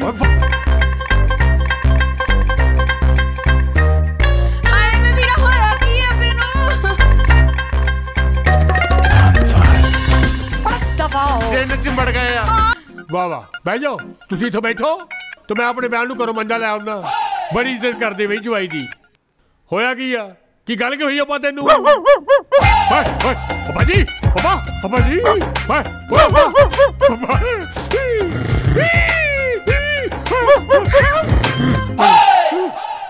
ਹੂ ਹਕ। ਹੂ ਹਕ। ਮੈਂ ਗਲਤ ਕਹਿਣ ਦੇ ਕਿੱਥੇ ਹੈ ਜਿਨ? ਕਿਹੜਾ ਹੈ ਜਿਨ? ਕੱਢੋ ਬਾਹਰ। ਲਓ ਜੀ ਇਹ ਇੱਕ ਨਵੀਂ ਚੀਜ਼ ਸੀ ਹੈ ਜੀ ਤੇ ਇਸ ਤਰ੍ਹਾਂ ਦੀਆਂ ਹੋਰ ਬਹੁਤ ਸਾਰੀਆਂ ਚੀਜ਼ਾਂ ਜਿਹੜੀਆਂ ਉਹ ਸਾਡੀ ਪਾਈਪਲਾਈਨ 'ਚ ਹੈਗੀਆਂ ਨੇ ਅਸੀਂ ਇਨਸ਼ਾਅੱਲਾ ਉਹਨੂੰ ਅੱਗੇ ਲੈ ਕੇ ਆ ਰਹੇ ਹਾਂ। ਮੇਨ ਕੰਮ ਜਿਹੜਾ ਇੱਕ ਜਿਹੜਾ ਮੈਨੂੰ ਨਜ਼ਰ ਆਇਆ ਅੱਜ ਤੱਕ ਜਿਹੜਾ ਮੈਂ ਡੰਕੇ ਦੀ ਚੋਟ ਤੇ ਤੁਹਾਨੂੰ ਦੱਸਣਾ ਚਾਹਨਾ ਆ ਅ, ਜਿਲੇ ਮੈਂ ਕਹਿੰਦਾ ਹੁੰਦਾ ਨਾ ਕਿ ਤੁਸੀਂ ਮੇਰੀ YouTube ਫੈਮਿਲੀ ਆ ਤੁਸੀਂ ਸਾਰੇ ਮੇਰੇ ਭੈਣਾ ਭਾਈ ਆ ਇਹ ਨਾ ਲਫ਼ਜ਼ੀ ਗੱਲ ਨਹੀਂ ਹੁੰਦੀ। ਮੈਂ ਇਸ ਗੱਲ ਨੂੰ ਫੀਲ ਕਰਦਾ ਆ ਮੈਂ ਇਸ ਗੱਲ ਨੂੰ ਮਹਿਸੂਸ ਕਰਦਾ ਆ ਕਿ ਅਸੀਂ ਸਾਰੇ ਇੱਕ ਲੋਕ ਆ ਇਹ 'ਚ ਬਾਰਡਰਾਂ ਦੀ ਕੋਈ ਤਮੀਜ਼ ਨਹੀਂ ਹੈ। ਇਹ 'ਚ ਮੁਲਕਾਂ ਦੀ ਕੋਈ ਤਮੀਜ਼ ਨਹੀਂ ਹੈ। ਗੱਲ ਇਹ ਹੈ ਕਿ ਜਿਹੜੀ ਇੱਕ ਮੇਰੀ ਧੀ ਹੈ, ਮੇਰੀ ਭੈਣ ਹੈ, ਉਹ ਇੰਡੀਆ ਦੇ ਕਿਸੇ ਘਰ 'ਚ ਬੈਠੀ ਹੋਵੇ ਜਾਂ ਮੇਰੇ ਪਾਕਿਸਤਾਨ ਦੇ ਘਰ 'ਚ ਬੈਠੀ ਹੋਵੇ ਜਾਂ ਇੰਗਲੈਂਡ, ਆਸਟ੍ਰੇਲੀਆ, ਕੈਨੇਡਾ, ਪੂਰੀ ਦੁਨੀਆ 'ਚ ਕਿਤੇ ਵੀ ਬੈਠੀ ਹੋਵੇ, ਅਸਲ 'ਚ ਉਹ ਮੇਰੀ ਧੀ ਹੈ ਨਾ। ਉਹ ਮੇਰੀ ਭੈਣ ਹੈ ਨਾ। ਤੇ ਮੈਂ ਜਦੋਂ ਵੀ ਕੰਮ ਕੀਤਾ ਹੈ, ਜਿਹੜਾ ਵੀ ਕੰਮ ਕੀਤਾ ਹੈ, ਮੈਂ ਇਹ ਸੋਚ ਸਮਝ ਕੇ ਕੰਮ ਕੀਤਾ ਹੈ ਕਿ ਇਹ ਮੇਰੀਆਂ ਧੀਆਂ ਨੇ ਵੀ ਸੁਣਨਾ ਆ, ਇਹ ਮੇਰੀਆਂ ਭੈਣਾਂ ਨੇ ਵੀ ਸੁਣਨਾ ਆ, ਕਿਉਂਕਿ ਅਸੀਂ ਇੱਕ ਖਾਨਦਾਨ ਦੇ ਲੋਕ ਆ ਤੇ ਮੈਂ ਕਦੀ ਜ਼ਿੰਦਗੀ 'ਚ ਤੁਹਾਨੂੰ ਮੇਰੇ ਚੈਨਲ ਤੇ ਕੋਈ ਐਸਾ ਕੰਮ, ਕੋਈ ਐਸਾ ਲਫ਼ਜ਼ ਨਹੀਂ ਮਿਲੇਗਾ ਜਿਹੜਾ ਔਨ 에ਅਰ ਹੋਇਆ ਹੋਵੇ ਤੇ ਮੈਨੂੰ ਸ਼ਰਮਿੰਦਗੀ ਹੋਈ ਹੋਵੇ। ਜਾਂ ਮੈਂ ਆਪਣੀ ਧੀ ਅੱਗੇ, ਭੈਣ ਅੱਗੇ ਇਕੱਠਿਆਂ ਬਹਿ ਕੇ ਨਹੀਂ ਸੁਣ ਸਕਦਾ। ਮੈਨੂੰ ਬਹੁਤ ਸਾਰੇ ਲੋਕ ਵੀਡੀਓਜ਼ ਭੇਜਦੇ ਆ ਜਿਸ 'ਚ ਛੁੱਟੀ ਵਾਲੇ ਦਿਨ ਵੱਡੀਆਂ ਵੱਡੀਆਂ ਐਲਸੀਡੀਆਂ ਤੇ ਲਾ ਕੇ ਪੂਰਾ ਪੂਰਾ ਟੱਬਰ ਬਹਿ ਕੇ ਸੁਣਨ ਡਿਆ ਹੁੰਦਾ ਮੈਨੂੰ ਇਸ ਗੱਲ ਦਾ ਅਹਿਸਾਸ ਹੈ। ਮੇਰੀ ਤਬੀਅਤ 'ਚ ਵੀ ਅਲਹਮਦੁਲਿਲਾ ਐਸੀ ਕੋਈ ਗੱਲ ਨਹੀਂ ਹੈ, ਲੇਕਿਨ ਫਿਰ ਵੀ ਮੈਂ ਪੂਰੀ ਕੋਸ਼ਿਸ਼ ਕਰਦਾ ਆ ਕਿ ਖਾਨਦਾਨ 'ਚ ਬੱਚੀਆਂ ਬੈਠੀਆਂ, ਨਾਲ ਅੱਬੂ ਬੈਠਾ ਆ, ਅੰਮੀ ਬੈਠੇ ਆ, ਸਾਰੇ ਬੈਠੇ ਆ, ਤੇ ਜਿੱਲੇ ਵੀਡੀਓ ਚੱਲੇ ਤੇ ਮੇਰੇ ਵੀਡੀਓ ਚੱਲਦੇ ਹੋਏ ਕਿਸੇ ਦੀ ਨਜ਼ਰ ਜਿਹੜੀ ਹੈ ਉਹ ਨੀਵੀਂ ਨਹੀਂ ਹੋਣੀ ਚਾਹੀਦੀ। ਮੈਂ ਇੱਕ ਸਾਫ਼ ਸੁਥਰਾ ਫੈਮਿਲੀ ਵਾਲਾ ਕੰਮ ਕਰਨਾ ਚਾਹੁੰਦਾ ਹਾਂ ਤੇ ਉਮੀਦ ਹੈ ਮੇਰੇ ਤੇ ਤੁਸੀਂ ਉਮੀਦ ਰੱਖੋ, ਇਨਸ਼ਾਅੱਲਾ ਤੁਸੀਂ ਮੇਰੇ ਨਾਲ ਜੁੜੇ ਹੋਏ ਆ। ਮੈਂ ਜਿੰਨਾ ਮੇਰੇ ਟੱਬਰ ਦੇ ਫਰਦ ਜਿਹੜੇ 6 ਲੱਖ ਨੇ, ਮੈਂ ਉਹਨਾਂ ਦੇ ਸਾਹਮਣੇ ਅੱਜ ਵਾਅਦਾ ਕਰਦਾ ਹਾਂ ਕਿ ਇਹ ਚੈਨਲ ਜਦੋਂ ਤੱਕ ਚੱਲੇਗਾ, ਜਿੱਦਾਂ ਚੱਲੇਗਾ ਐਦਾਂ ਹੀ ਫੈਮਿਲੀ ਚੈਨਲ ਚੱਲੇਗਾ। ਕੋਸ਼ਿਸ਼ ਇਹ ਹੁੰਦੀ ਹੈ ਕਿ ਸਾਫ਼ ਸੁਥਰਾ ਭੈਣਾਂ ਭਰਾਵਾਂ 'ਚ ਬੈਠਣ ਵਾਲਾ ਕੰਮ ਜਿਹੜਾ ਹੈ ਉਹ ਮੇਰੀ ਤਰਫ ਦਿੱਤਾ ਹੈ ਮੇਰੀ ਤਰਫੋਂ ਤੁਹਾਨੂੰ ਤੁਹਾਡੇ ਕੋਲ ਆਉਣਾ ਚਾਹੀਦਾ ਇਹੋ ਜਿਹਾ ਪੁੱਤ ਮੈਂ ਨਾ ਕੰਮ ਕਦੇ ਕੀਤਾ ਨਾ ਮੈਂ ਕਰਨਾ। ਹੁਣ ਇਹਨਾਂ ਨੂੰ ਲੱਗੇਗਾ ਪਤਾ ਇਹ ਉਹ ਵਿਚਾਰਾ। ਮਾੜਾ ਸੀਗਾ ਜਿਹੜਾ ਮਾਰ ਖਾ ਗਿਆ। ਉਹ ਪੁੱਤ ਮੈਂ ਉਹਦੇ ਤੋਂ ਵੀ ਮਾੜਾ। ਮੈਂ ਨਹੀਂ ਤੇਰਾ ਕੰਮ ਕਰਨਾ ਹੈਗਾ। ਇਹ ਕਿਹੜੀ ਗੱਲ ਹੈ ਭਈ ਲੈ ਲੱਦਾ ਸੁੱਤੋਂ ਗੋਲੀਆਂ ਮਾਰਦੇ ਆ। ਅਸੀਂ ਹੁਣ ਕੀ ਹੈਲਮਟ ਪਾ ਕੇ ਤੇਰਾ ਘਰ ਬਣਾਉਣਾ? ਮੈਨੂੰ ਦੱਸ। ਆ ਬਸ ਤੁਸੀਂ ਵੇਖੋ ਸਹੀ ਬਣਦਾ ਨਾਲੀਆਂ। ਫੜੀਆਂ ਤਲਵਾਰਾਂ ਲੈ ਕੇ ਆ ਜਾਂਦੇ ਆ। ਇਹ ਬ- ਬ- ਮੈਨੂੰ ਇਹ ਸਲਾਹਤ ਹੀ ਨਹੀਂ ਯੂਪੀ ਦੇ ਦੌਰ 'ਚ ਮੈਂ ਕੋਈ ਕੋਠੀ ਬਣਾਉਣ ਲੱਗਾ ਵੀ ਤਲਵਾਰਾਂ ਲੈ ਕੇ ਆ ਜਾਂਦੇ ਉੱਥੇ। ਕਮਾਲ ਹੋਈ ਆ ਯਾਰ। ਚਾਚਾ ਬਿਸ਼ਾਰਤ ਭਲਾ ਸਮਾਨ ਕੀ ਚਾਹੀਦਾ? ਕਿੱਥੇ? ਪਲਾਟ ਤੇ ਮੈਨੂੰ ਸਮਾਨ ਪਹਿਲੇ ਲਿਖਾ ਦੇ ਨਾ ਮੈਂ ਕਹਿ ਦਿਆਂ। ਸਮਾਨ ਇਹ ਮੈਨੂੰ ਕੀ ਚਾਹੀਦਾ? ਹਾਂਜੀ। ਮੈਨੂੰ ਪੁੱਤ ਮੈਨੂੰ ਪੂਰੀ ਆਰਮੀ ਬੁਲਾ ਦੇ ਤਾਂ ਮੈਂ ਫੇਰ ਖਲੋ ਕੇ ਕੰਮ ਕਰ ਸਕਦਾ। ਮੈਨੂੰ ਆਰਮੀ ਚਾਹੀਦੀ ਆ ਟੈਂਕ ਚਾਹੀਦੇ ਆ। ਮੈਨੂੰ ਆਪਣੀ ਜਾਨ ਦੀ ਜ਼ਮਾਨਤ ਚਾਹੀਦੀ ਆ। ਸਮਾਨ ਬਸ ਚਾਚਾ ਬਿਸ਼ਾਰਤ ਜਿਹੜਾ ਤੇਰੇ ਨਾਲ ਘੂਰੀ ਵੀ ਪਾਵੇ ਤੂੰ ਢਾ ਲੈਣਾ। ਉਹ ਮੈਂ ਨਹੀਂ ਮੈਂ ਮੈਂ ਵੈਸੇ ਹੀ ਬੇਟਾ ਮੈਂ ਘੂਰੀ ਮੇਰੇ ਨਾਲ ਪਾ- ਮੈਂ ਇੱਕ ਅ- ਅੱਖ ਤੋਂ ਤਾਂ ਮੈਨੂੰ ਵੈਸੇ ਦਿੰਦਾ ਘਾਟਾ। ਭਈ ਤੂੰ ਮੇਰੇ ਤਾਂ ਇੱਕ ਘੂਰੀ ਵਾਲੇ ਕਿਉਂ ਪਾਉਣੀ ਆ? ਮੈਂ ਤੂੰ ਜਿੱਲੇ ਜਿਹੜਾ ਤੇਰੇ ਨਾਲ ਆਵੇ ਨਾ ਹਾਂ। ਜਿੱਲੇ ਤੂੰ ਉਹਦੇ ਨਾਲ ਦੇਖਣਾ ਨਾ ਘੂਰੀ ਪਾ ਕੇ। ਮੈਂ ਬੇਟਾ ਮੇਰੀ ਇੱਕ ਮੈਂ ਇੱਕ ਅੱਖ ਤੋਂ ਕਾਣਾ ਮੇਰੇ ਕੋ ਘੂਰੀ ਪੈਂਦੀ ਨਹੀਂ। ਚਾਚਾ ਬਿਸ਼ਾਰਤ ਜਿੱਲੇ ਚਾਚੇ ਬਿਸ਼ਾਰਤ ਨੇ ਗੱਜਣਾ ਹੈ ਨਾ। ਓਏ ਮੈਂ ਓਏ ਮੁੜ ਜਾ ਮੈਂ ਤੈਨੂੰ ਕਹਿੰਦਾ। ਜਿੱਲੇ ਬਾਜ਼ਾਰ 'ਚ ਉਹ ਚਾਚਾ ਬਿਸ਼ਾਰਤ ਨੇ ਕੀ ਕਿਉਂ ਗੱਜਣਾ? ਚਾਚਾ ਬਿਸ਼ਾਰਤ ਬੱਦਲ ਆ। ਹਾਂ? ਤੁਸੀਂ ਦੇਖਿਆ ਕਿ ਮੈਂ ਵਲੌਗਸ ਕੀਤੇ। ਬਹੁਤ ਬਹੁਤ ਅੱਛੇ ਮੌਸਮ ਦੇ ਹਿਸਾਬ ਨਾਲ। ਉਹ ਇਹ ਹੈ ਕਿ ਮੇਰੀ ਲਾਈਫ 'ਚ ਥੋੜੀ ਜਿਹੀ ਬਿਜ਼ੀ ਲਾਈਫ ਹੈ। ਮੈਂ ਆਪਣਾ ਮੇਰਾ ਬਿਜ਼ਨਸ ਹੈ। ਮੈਂ ਉਹ ਵੀ ਦੇਖਣਾ ਹੁੰਦਾ ਹੈ। ਮੇਰੀ ਇੱਕ ਜੌਬ ਹੈ। ਮੈਂ ਉਹ ਵੀ ਦੇਖਣੀ ਹੁੰਦੀ ਹੈ। YouTube ਚੈਨਲ ਵੀ ਦੇਖਣਾ ਹੁੰਦਾ ਹੈ। ਤੇ ਉਹਦੇ 'ਚ ਇਹ ਆ ਕਿ ਸੌਣ ਨੂੰ ਟਾਈਮ ਜਿਹੜਾ 4-5 ਘੰਟੇ ਉਹ ਬਹੁਤ ਔਖਾ ਲੱਭਦਾ ਹੈ। ਤੇ ਉਹ ਫਿਰ ਇਹ ਆ ਕਿ ਜਿੱਦਾਂ ਜਿੱਦਾਂ ਅਗਰ ਮੇਰਾ ਕੋਈ ਵਿਜ਼ਿਟ ਹੁੰਦਾ ਹੈ ਜਾਂ ਕੁਝ ਐਸਾ ਮਾਮਲਾ ਹੁੰਦਾ ਮੈਂ ਕੋਸ਼ਿਸ਼ ਕਰਦਾ ਕਿ ਤੁਹਾਨੂੰ ਇੱਕ ਵਲੌਗ ਵੀ ਨਾਲ ਦੇਵਾਂ, ਸੈਰ ਕਰਾਵਾਂ, ਕੋਈ ਖਾਣੇ ਪੀਣੇ ਦੇ ਕੰਮ, ਕੋਈ ਇੱਧਰ ਉੱਧਰ ਜਿਹੜੇ ਆ। ਤੇ ਬਾਕੀ ਤੁਹਾਡੇ ਜਿੰਨੇ ਕਮੈਂਟਸ ਹੁੰਦੇ ਨੇ, ਜਿੰਨੇ ਲਾਈਕਸ ਹੁੰਦੇ ਨੇ, ਜਿੰਨੀਆਂ ਤੁਹਾਡੀਆਂ ਮੁਹੱਬਤਾਂ ਕਮੈਂਟਸ ਦੀ ਸੂਰਤ ਮੇਰੇ ਕੋ ਆ ਰਹੀਆਂ ਹੁੰਦੀਆਂ। ਉਹ ਮੈਂ ਸਾਰੀਆਂ ਦੇਖਦਾ ਇੱਕ ਇੱਕ ਚੀਜ਼ ਮੈਂ ਦੇਖਦਾ ਆ, ਜਿੰਨੇ ਪਿਆਰ ਨਾਲ, ਜਿੰਨੇ ਮੁਹੱਬਤ ਨਾਲ ਮੇਰੀਆਂ ਮਾਵਾਂ, ਮੇਰੀਆਂ ਭੈਣਾਂ ਦੁਆਵਾਂ ਦਿੰਦੀਆਂ ਨੇ ਕਮੈਂਟਸ ਉਹਨਾਂ ਦਾ ਬਹੁਤ-ਬਹੁਤ ਸ਼ੁਕਰੀਆ। ਖਾਸ ਕਰ ਜਿਹੜੇ ਮੇਰੇ ਬਜ਼ੁਰਗ ਨੇ, ਜਿੱਦਾਂ ਪਿਛਲੇ ਦਿਨਾਂ 'ਚ ਮੈਨੂੰ ਇੱਕ ਕਾਲ ਆਈ, ਉਹ ਮੈਨੂੰ ਕਹਿੰਦੇ ਕਿ, ਹਾਂ ਵੀ ਸੱਜਣਾ। ਮੈਂ ਕਿਹਾ, ਹਾਂਜੀ ਜੀ। ਕਹਿੰਦੇ ਜੀ, ਗੱਲ ਇਹ ਆ, ਧੀਆਂ ਪੁੱਤ ਵਿਆਹੇ ਗਏ ਤੇ ਅਸੀਂ ਹੁਣ ਹੁੰਨੇ ਆ ਘਰ 'ਚ ਇਕੱਲੇ ਤੇ ਇਕੱਲੇ ਨਹੀਂ ਹੈਗੇ ਇਸ ਘਰ 'ਚ ਇਸ ਘਰ 'ਚ ਮੈਂ ਆ ਤੇ ਮੇਰੇ ਨਾਲ ਰਾਣਾ ਇਜਾਜ਼ ਹੈ। ਸ਼ੇਰਾ ਤੂੰ ਸਾਡੀ ਨਾ ਜਿਹੜਾ ਆ ਉਹ ਰੌਣਕ ਲਾਈ ਹੋਈ ਘਰ 'ਚ ਤੈਨੂੰ ਸੁਣ ਸੁਣ ਕੇ ਖੁਸ਼ ਹੁੰਦੇ ਰਹਿੰਦੇ ਆ ਤੇ ਡਿਪਰੈਸ਼ਨ ਘਟਦਾ ਰਹਿੰਦਾ ਹੈ ਤੇ ਐਂਜ਼ਾਈਟੀ ਤੇ ਟੈਨਸ਼ਨ ਘਟਦੀ ਰਹਿੰਦੀ ਹੈ। ਮੈਂ ਦੱਸਿਆ ਦੋ ਚਾਰ ਬੰਦਿਆਂ ਨੂੰ ਹਾਂਜੀ। ਮੈਂ ਕਿਹਾ ਜੀ ਅਜ਼ੀਮ ਵਿੱਕੀ ਸਾਹਿਬ ਦੇ ਘਰ ਮੈਂ ਦੁੱਧ ਦਿੰਦਾ ਸੀਗਾ। ਜੀ ਜੀ। ਤੇ ਆਹ ਗਲਤੀ ਹੋ ਗਈ ਮੇਰੇ ਕੋਲ। ਅੱਛਾ ਦੋ ਚਾਰ ਬੰਦਿਆਂ ਨੂੰ ਦੱਸ ਵੀ ਦਿੱਤਾ ਬਾਹਰ? ਹਾਂਜੀ। ਸ਼ਾਬਾਸ਼। ਤੇਰੀ ਰਿਪੋਰਟਿੰਗ ਤੇ। ਹੁਣ ਮੈਂ ਕੀ ਕਵਾਂ? ਘੁੰਮ ਕੇ ਲਾਣਾ ਤਾਂ ਬੇਸ਼ੁਮਾਰ। ਨਹਾਰ ਮੂੰਹ ਲਾਣਾ ਤਾਂ ਇਸ ਗੱਲ ਤੇ। ਹੱਦ ਹੋ ਗਈ ਯਾਰ ਵਸੇ। ਉਹ ਬਾਹਰ ਦੇ- ਤੁਹਾਡੇ ਸਟੇਜ ਤੇ ਜਿਹੜੇ ਲੋਕ ਆ ਨਾ ਜੀ ਆਰਟਿਸਟ ਹਾਂਜੀ। ਉਹਨਾਂ ਦੇ ਘਰ ਵੀ ਮੈਂ ਹੀ ਦੁੱਧ ਪਾਉਣਾ ਨਾ ਜੀ। ਹੱਲ ਹੈ ਕਿੰਨਾ ਕਿੰਨਾ ਦੇ ਘਰ? ਨਹੀਂ ਉਹ ਮੱਝਾਂ ਦਾ ਜਾਂਦਾ ਉਹਨਾਂ ਦੇ ਘਰ। ਅੱਛਾ ਉਹਨਾਂ ਦੇ ਘਰ ਮੱਝਾਂ ਨੇ ਜਾਂਦਾ। ਮੇਰੇ ਲਈ ਸਿਰਫ ਖੋਤੀਆਂ ਰੱਖੀਆਂ ਸੀ ਉਹਨਾਂ ਨੇ। ਨਹੀਂ ਤੇਰੇ ਕੋਲ ਤੇਰੇ ਨੂੰ ਜਦੋਂ ਬਾਂਧ ਲਾਈ ਦੀ ਤੇਰੇ ਨਾਲ ਦੁੱਧ ਦੀ ਤੇਰੇ ਨਾਲ ਐਗਰੀਮੈਂਟ ਕਰਨਾ ਪੈਂਦਾ। ਹੈ ਜੇ ਤੂੰ ਮੇਰੇ ਕੋਲ ਫਾਰਮ ਲੈ ਕੇ ਆਇਆ ਹੋਵੇ, ਕਿ ਭਾਈ ਜੀ ਮੈਂ ਤੁਹਾਨੂੰ ਅੰਨੇਵਾਹ ਦੁੱਧ ਪਾ ਕੇ ਜਾਣਾ ਜੇ ਜਿਹੜਾ ਮਰਜ਼ੀ ਹੋਵੇ। ਕੀ ਖਿਆਲ ਹੈ ਅੰਨਾ ਦੁੱਧ ਨਹੀਂ ਹੁੰਦਾ ਵੀ ਮੈਂ ਅੱਖਾਂ ਬੰਦ ਕਰਕੇ ਤੁਹਾਨੂੰ ਦੇ ਜਾਣਾ ਜੀ। ਅੱਗੇ ਤੁਹਾਡੀ ਜਾਂ ਕਿਸਮਤ ਜਾਂ ਖੋਤੀ ਤੇ ਮੈਂ ਆਪਣੇ ਬਜ਼ੁਰਗਾਂ ਦੇ ਨਾਲ ਆ, ਆਪਣੇ ਭੈਣਾਂ ਭਰਾਵਾਂ ਦੇ ਹਮੇਸ਼ਾ ਨਾਲ ਆ। ਤੇ ਕੋਸ਼ਿਸ਼ ਕਰੂੰਗਾ ਕਿ ਅਗਰ ਤੁਸੀਂ ਮੈਨੂੰ ਆਪਣਾ ਡਾਕਟਰ ਸਮਝਦੇ ਆ, ਤੇ ਮੈਂ ਕੋਸ਼ਿਸ਼ ਕਰੂੰਗਾ ਕਿ ਅੱਲਾਹ ਪਾਕ ਨੇ ਜਿਹੜੀ ਮੇਰੀ ਡਿਊਟੀ ਲਾਈ ਹੈ, ਉਹਦੇ 'ਚ ਮੈਂ ਕੋਈ ਕੁਤਾਈ ਨਾ ਕਰਾਂ। ਬਾਕੀ ਇੱਕ ਖਾਸ ਗੱਲ ਜਿਹੜੀ ਤੁਹਾਡੇ ਤਾਈਂ ਮੈਂ ਰਿਕੁਐਸਟ ਕਰਨੀ ਹੈ ਤੁਹਾਨੂੰ ਰਿਕੁਐਸਟ ਇਹ ਕਰਨੀ ਹੈ ਕਿ ਜਿਹੜਾ ਹਾਸਾ ਤੁਹਾਡੇ ਤੱਕ ਪ- ਪਹੁੰਚਾਉਣਾ ਮੈਂ, ਉਹ ਖਾਲਸ ਖਾਲਸ ਖਾਲਸ ਅੱਲਾਹ ਪਾਕ ਦੀ ਦੇਣ ਹੁੰਦੀ ਹੈ।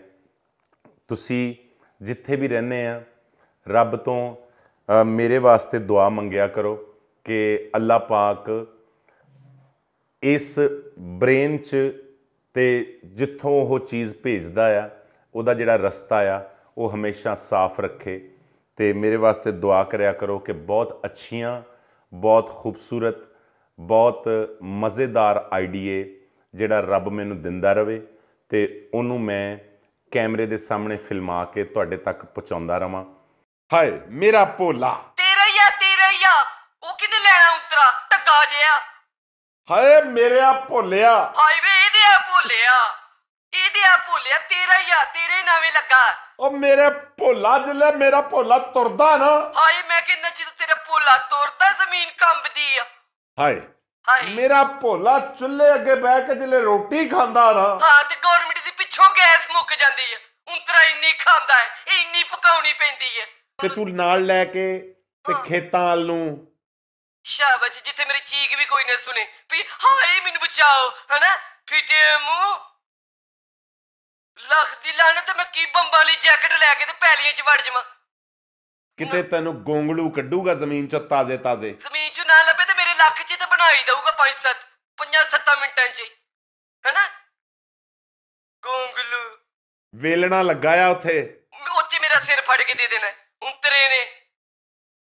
ਰਿਲੈਕਸ ਕਰ ਉਹਨੂੰ ਜਾ ਕੇ ਹੈ ਉਹਦਾ ਜ਼ੇਨ ਬਣਾ। ਜ਼ੇਨ ਉਹਦਾ ਮੈਂ ਕੀ ਬਣਾਵਾਂ ਵੀ ਮੈਨੂੰ ਕਿੱਦਾਂ ਕਤਲ ਕਰੇ? ਹਾਏ। ਹਾਏ। ਮੇਰਾ ਸ਼ਹਜ਼ਾਦਾ। ਹਾਏ ਤੇਰਾ ਹੀ ਆ ਤੇਰਾ ਹੀ ਆ ਤੇਰਾ ਹੀ ਆ ਤੇਰਾ ਹੀ ਆ। ਕਿਤੇ ਰੂਪ ਚੜਨਾ ਕੱਲੇ ਨੂੰ ਹੀ। ਮਰਨ ਤੋਂ ਬਾਅਦ ਵੀ ਨਹੀਂ ਚੜਨਾ ਉਂਤਰੇ ਨੂੰ। ਐਡਾ ਸੋਹਣਾ ਸੂਟ। ਹਾਂ ਹੋਣਾ ਮੇਰਾ ਜਿਹੜੇ ਨੇ ਪਾੜ ਕੇ ਲਈ ਉਰੇ ਲਈ ਕਰ ਦੇਣਾ। ਹੈਨਾ? ਜਿਲੇ ਉਹਨੇ ਐਦਾਂ ਕਰਕੇ ਨਾ ਆ ਐਦਾਂ ਕੁੱਤਕੁਤਾੜੀਆਂ ਕੱਢਣੀਆਂ ਤੇਰੇ ਲੱਕ ਤੇ। ਹਾਂ ਮੇਰੇ ਲੱਕ ਤੇ ਹਾਂ। ਨਾਜ਼ੁਕ ਲੱਕ ਤੇ। ਹਾਂ। ਪੋਲੇ ਨੇ ਕੁਤਕੁਤਾਰੀਆਂ ਕੱਢਣੀਆਂ। ਹਾਂ। ਬਸ ਕਰੋ ਰਾਣਾ ਸਾਹਿਬ ਮੈਨੂੰ ਪਤਾ ਉਹ ਕਾਹਦੇ ਨਾਲ ਉਹਨੇ ਕੁਤਕੁਤਾਰੀਆਂ ਕੱਢਣ ਲਈ ਵੀ ਘੱਟੋ ਘੱਟ ਕਈ ਫੜੀ ਹੋਣੀ ਹੈ ਉਹਨੇ ਕਿਹੜਾ ਹੱਥ ਨਾਲ ਬਿਮਾਰੀ ਪੈਣੇ ਨੇ ਕੱਢਣੀਆਂ ਨੇ ਜਾਂ ਕਈ ਹੋਣੀਆਂ ਜਾਂ ਕੈਂਚੀ ਦਾ ਇੱਕ ਹਿੱਸਾ ਹੋਣਾ ਇੱਕ ਖਾ ਗਿਆ ਹੋਣਾ। ਉਹਦੇ ਨਾਲ ਕੁਤਕੁਤਾਰੀਆਂ ਕੱਢਣੀਆਂ ਬਾਅਦ ਚ ਅਹ, ਡਾਕਟਰਾਂ ਨੇ ਉਹਦੀਆਂ ਕੀਤੀਆਂ ਹੋਈਆਂ ਕੁਤਕੁਤਾਰੀਆਂ ਆਪਰੇਸ਼ਨ ਕੱਢ ਕੇ ਮੇਰੇ ਵਿੱਚੋਂ ਕੱਢਣੀਆਂ। ਉਹਨੇ ਕਹਿਣਾ ਵੀ ਲੋਹੇ ਦੀਆਂ ਕੁਤਕੁਤਾਰੀਆਂ ਕਿੰਨੀਆਂ ਵੜ ਗਈਆਂ ਤੇਰੇ ਅੰਦਰ? ਕੱਲ ਪਰਸੋਂ ਇੱਕ ਮੈਸੇਜ ਆਇਆ ਕਿ ਉਹ ਇੱਕ ਦੋਸਤ ਹੈ, ਉਹਨਾਂ ਉਹ ਇੱਕ ਜਗ੍ਹਾ ਰਹਿੰਦੇ ਸੀਗੇ ਤੇ ਉੱਥੇ ਉਹ ਮੇਰੀਆਂ ਕਾਲ ਸੁਣਦੇ ਸੀ, ਉਹ ਤੇ ਉਹਨਾਂ ਦੀ ਅੰਮੀ। ਤੇ ਫਿਰ ਉਹਨਾਂ ਦਾ ਮੈਸੇਜ ਆਇਆ, ਕਹਿੰਦੇ ਜੀ ਕਿ ਅਸੀਂ ਹੁਣ ਘਰ ਬਦਲਿਆ ਤੇ ਮੇਰੀ ਅੰਮੀ ਮੈਨੂੰ ਕਹਿੰਦੇ ਨੇ ਕਿ ਰਾਣਾ ਆਜ਼ਾਦ ਇੱਥੇ ਵੀ ਸਾਡਾ ਇਦਾਂ ਹੀ ਦਿਲ ਲਾਈ ਰੱਖੂਗਾ ਨਾ।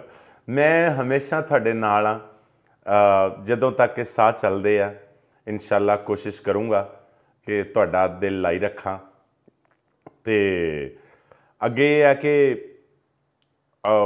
ਬਸ ਮੇਰੇ ਵਾਸਤੇ ਦੁਆਵਾਂ ਚਾਹੀਦੀਆਂ ਤੁਹਾਡੀਆਂ। ਕਿਉਂਕਿ ਦੁਆ 'ਚ, ਦੁਆ ਤਕਦੀਰਾਂ ਬਦਲ ਦਿੰਦੀ ਬੰਦਿਆਂ ਦੀਆਂ। ਹਾਂ, ਉਹ ਬਜ਼ੁਰਗ ਉੱਥੇ ਚੇਅਰ ਦੇ ਉੱਤੇ ਤੁਹਾਡੇ ਕੋਲ ਬੈਠੇ ਰਹਿਣਗੇ। ਉਹ ਤੁਹਾਨੂੰ ਦੱਸਣਗੇ ਕਿ ਡਾਟਸ ਕਿੱਥੇ ਕਿੱਥੇ ਮੈਨੂੰ ਚਾਹੀਦੇ ਆ, ਕਿੱਥੇ ਮੈਨੂੰ ਰਫ ਲੁੱਕ ਚਾਹੀਦੀ ਹੈ, ਕਿੱਥੇ ਮੈਨੂੰ ਪਲੇਨ ਚਾਹੀਦਾ ਹੈ। ਹੋ ਸਕਦਾ ਹੈ ਕਿਤੇ ਇੱਕ ਦੋ ਜਿਹੜੇ ਪੀਸ ਆ ਅਸੀਂ ਵਾਲਪੇਪਰ ਦੇ ਯੂਜ਼ ਕਰੀਏ ਓਏ ਓਏ ਉਹ 93 ਸਾਲ ਦੇ ਬੰਦੇ ਨੇ ਜਿੰਨੀ ਦੇਰ ਨੂੰ ਇਹ ਦੱਸਣਾ ਨਾ ਵੀ ਉਹਨੂੰ ਇੰਨਾ ਵੀ ਉਹਨੇ ਕਹਿਣਾ ਹੋਇਆ ਨਾ ਵੀ ਬਹੁਤ ਚੰਗਾ ਲੱਗਾ। ਉਹਨੇ ਸ਼ਾਮ ਪਾ ਦੇਣੀ ਹੈ। ਦਿਹਾੜੀਆਂ ਵੱਧ ਪੈ ਜਾਣੀਆਂ। ਮੈਨੇ ਮੈਂ ਅੱਬੂ ਜੀ ਨੂੰ ਤੇ ਨੰਬਰ ਦੇਣ ਲੱਗਾ ਤੇ ਉਹ ਤੇਰੇ ਨਾਲ ਨਾ ਫੋਨ ਤੇ ਕੰਟੈਕਟ ਕਰਦੇ ਆ। ਅੱਬੂ ਜੀ ਤੇ ਸਾਲੇ ਇੰਜ ਕਹਿੰਦਾ ਜਿਵੇਂ ਲਾ ਕੇ ਟਾਈ ਲਾ ਕੇ ਖਲੋਤਾ। ਅੱਬੂ ਜੀ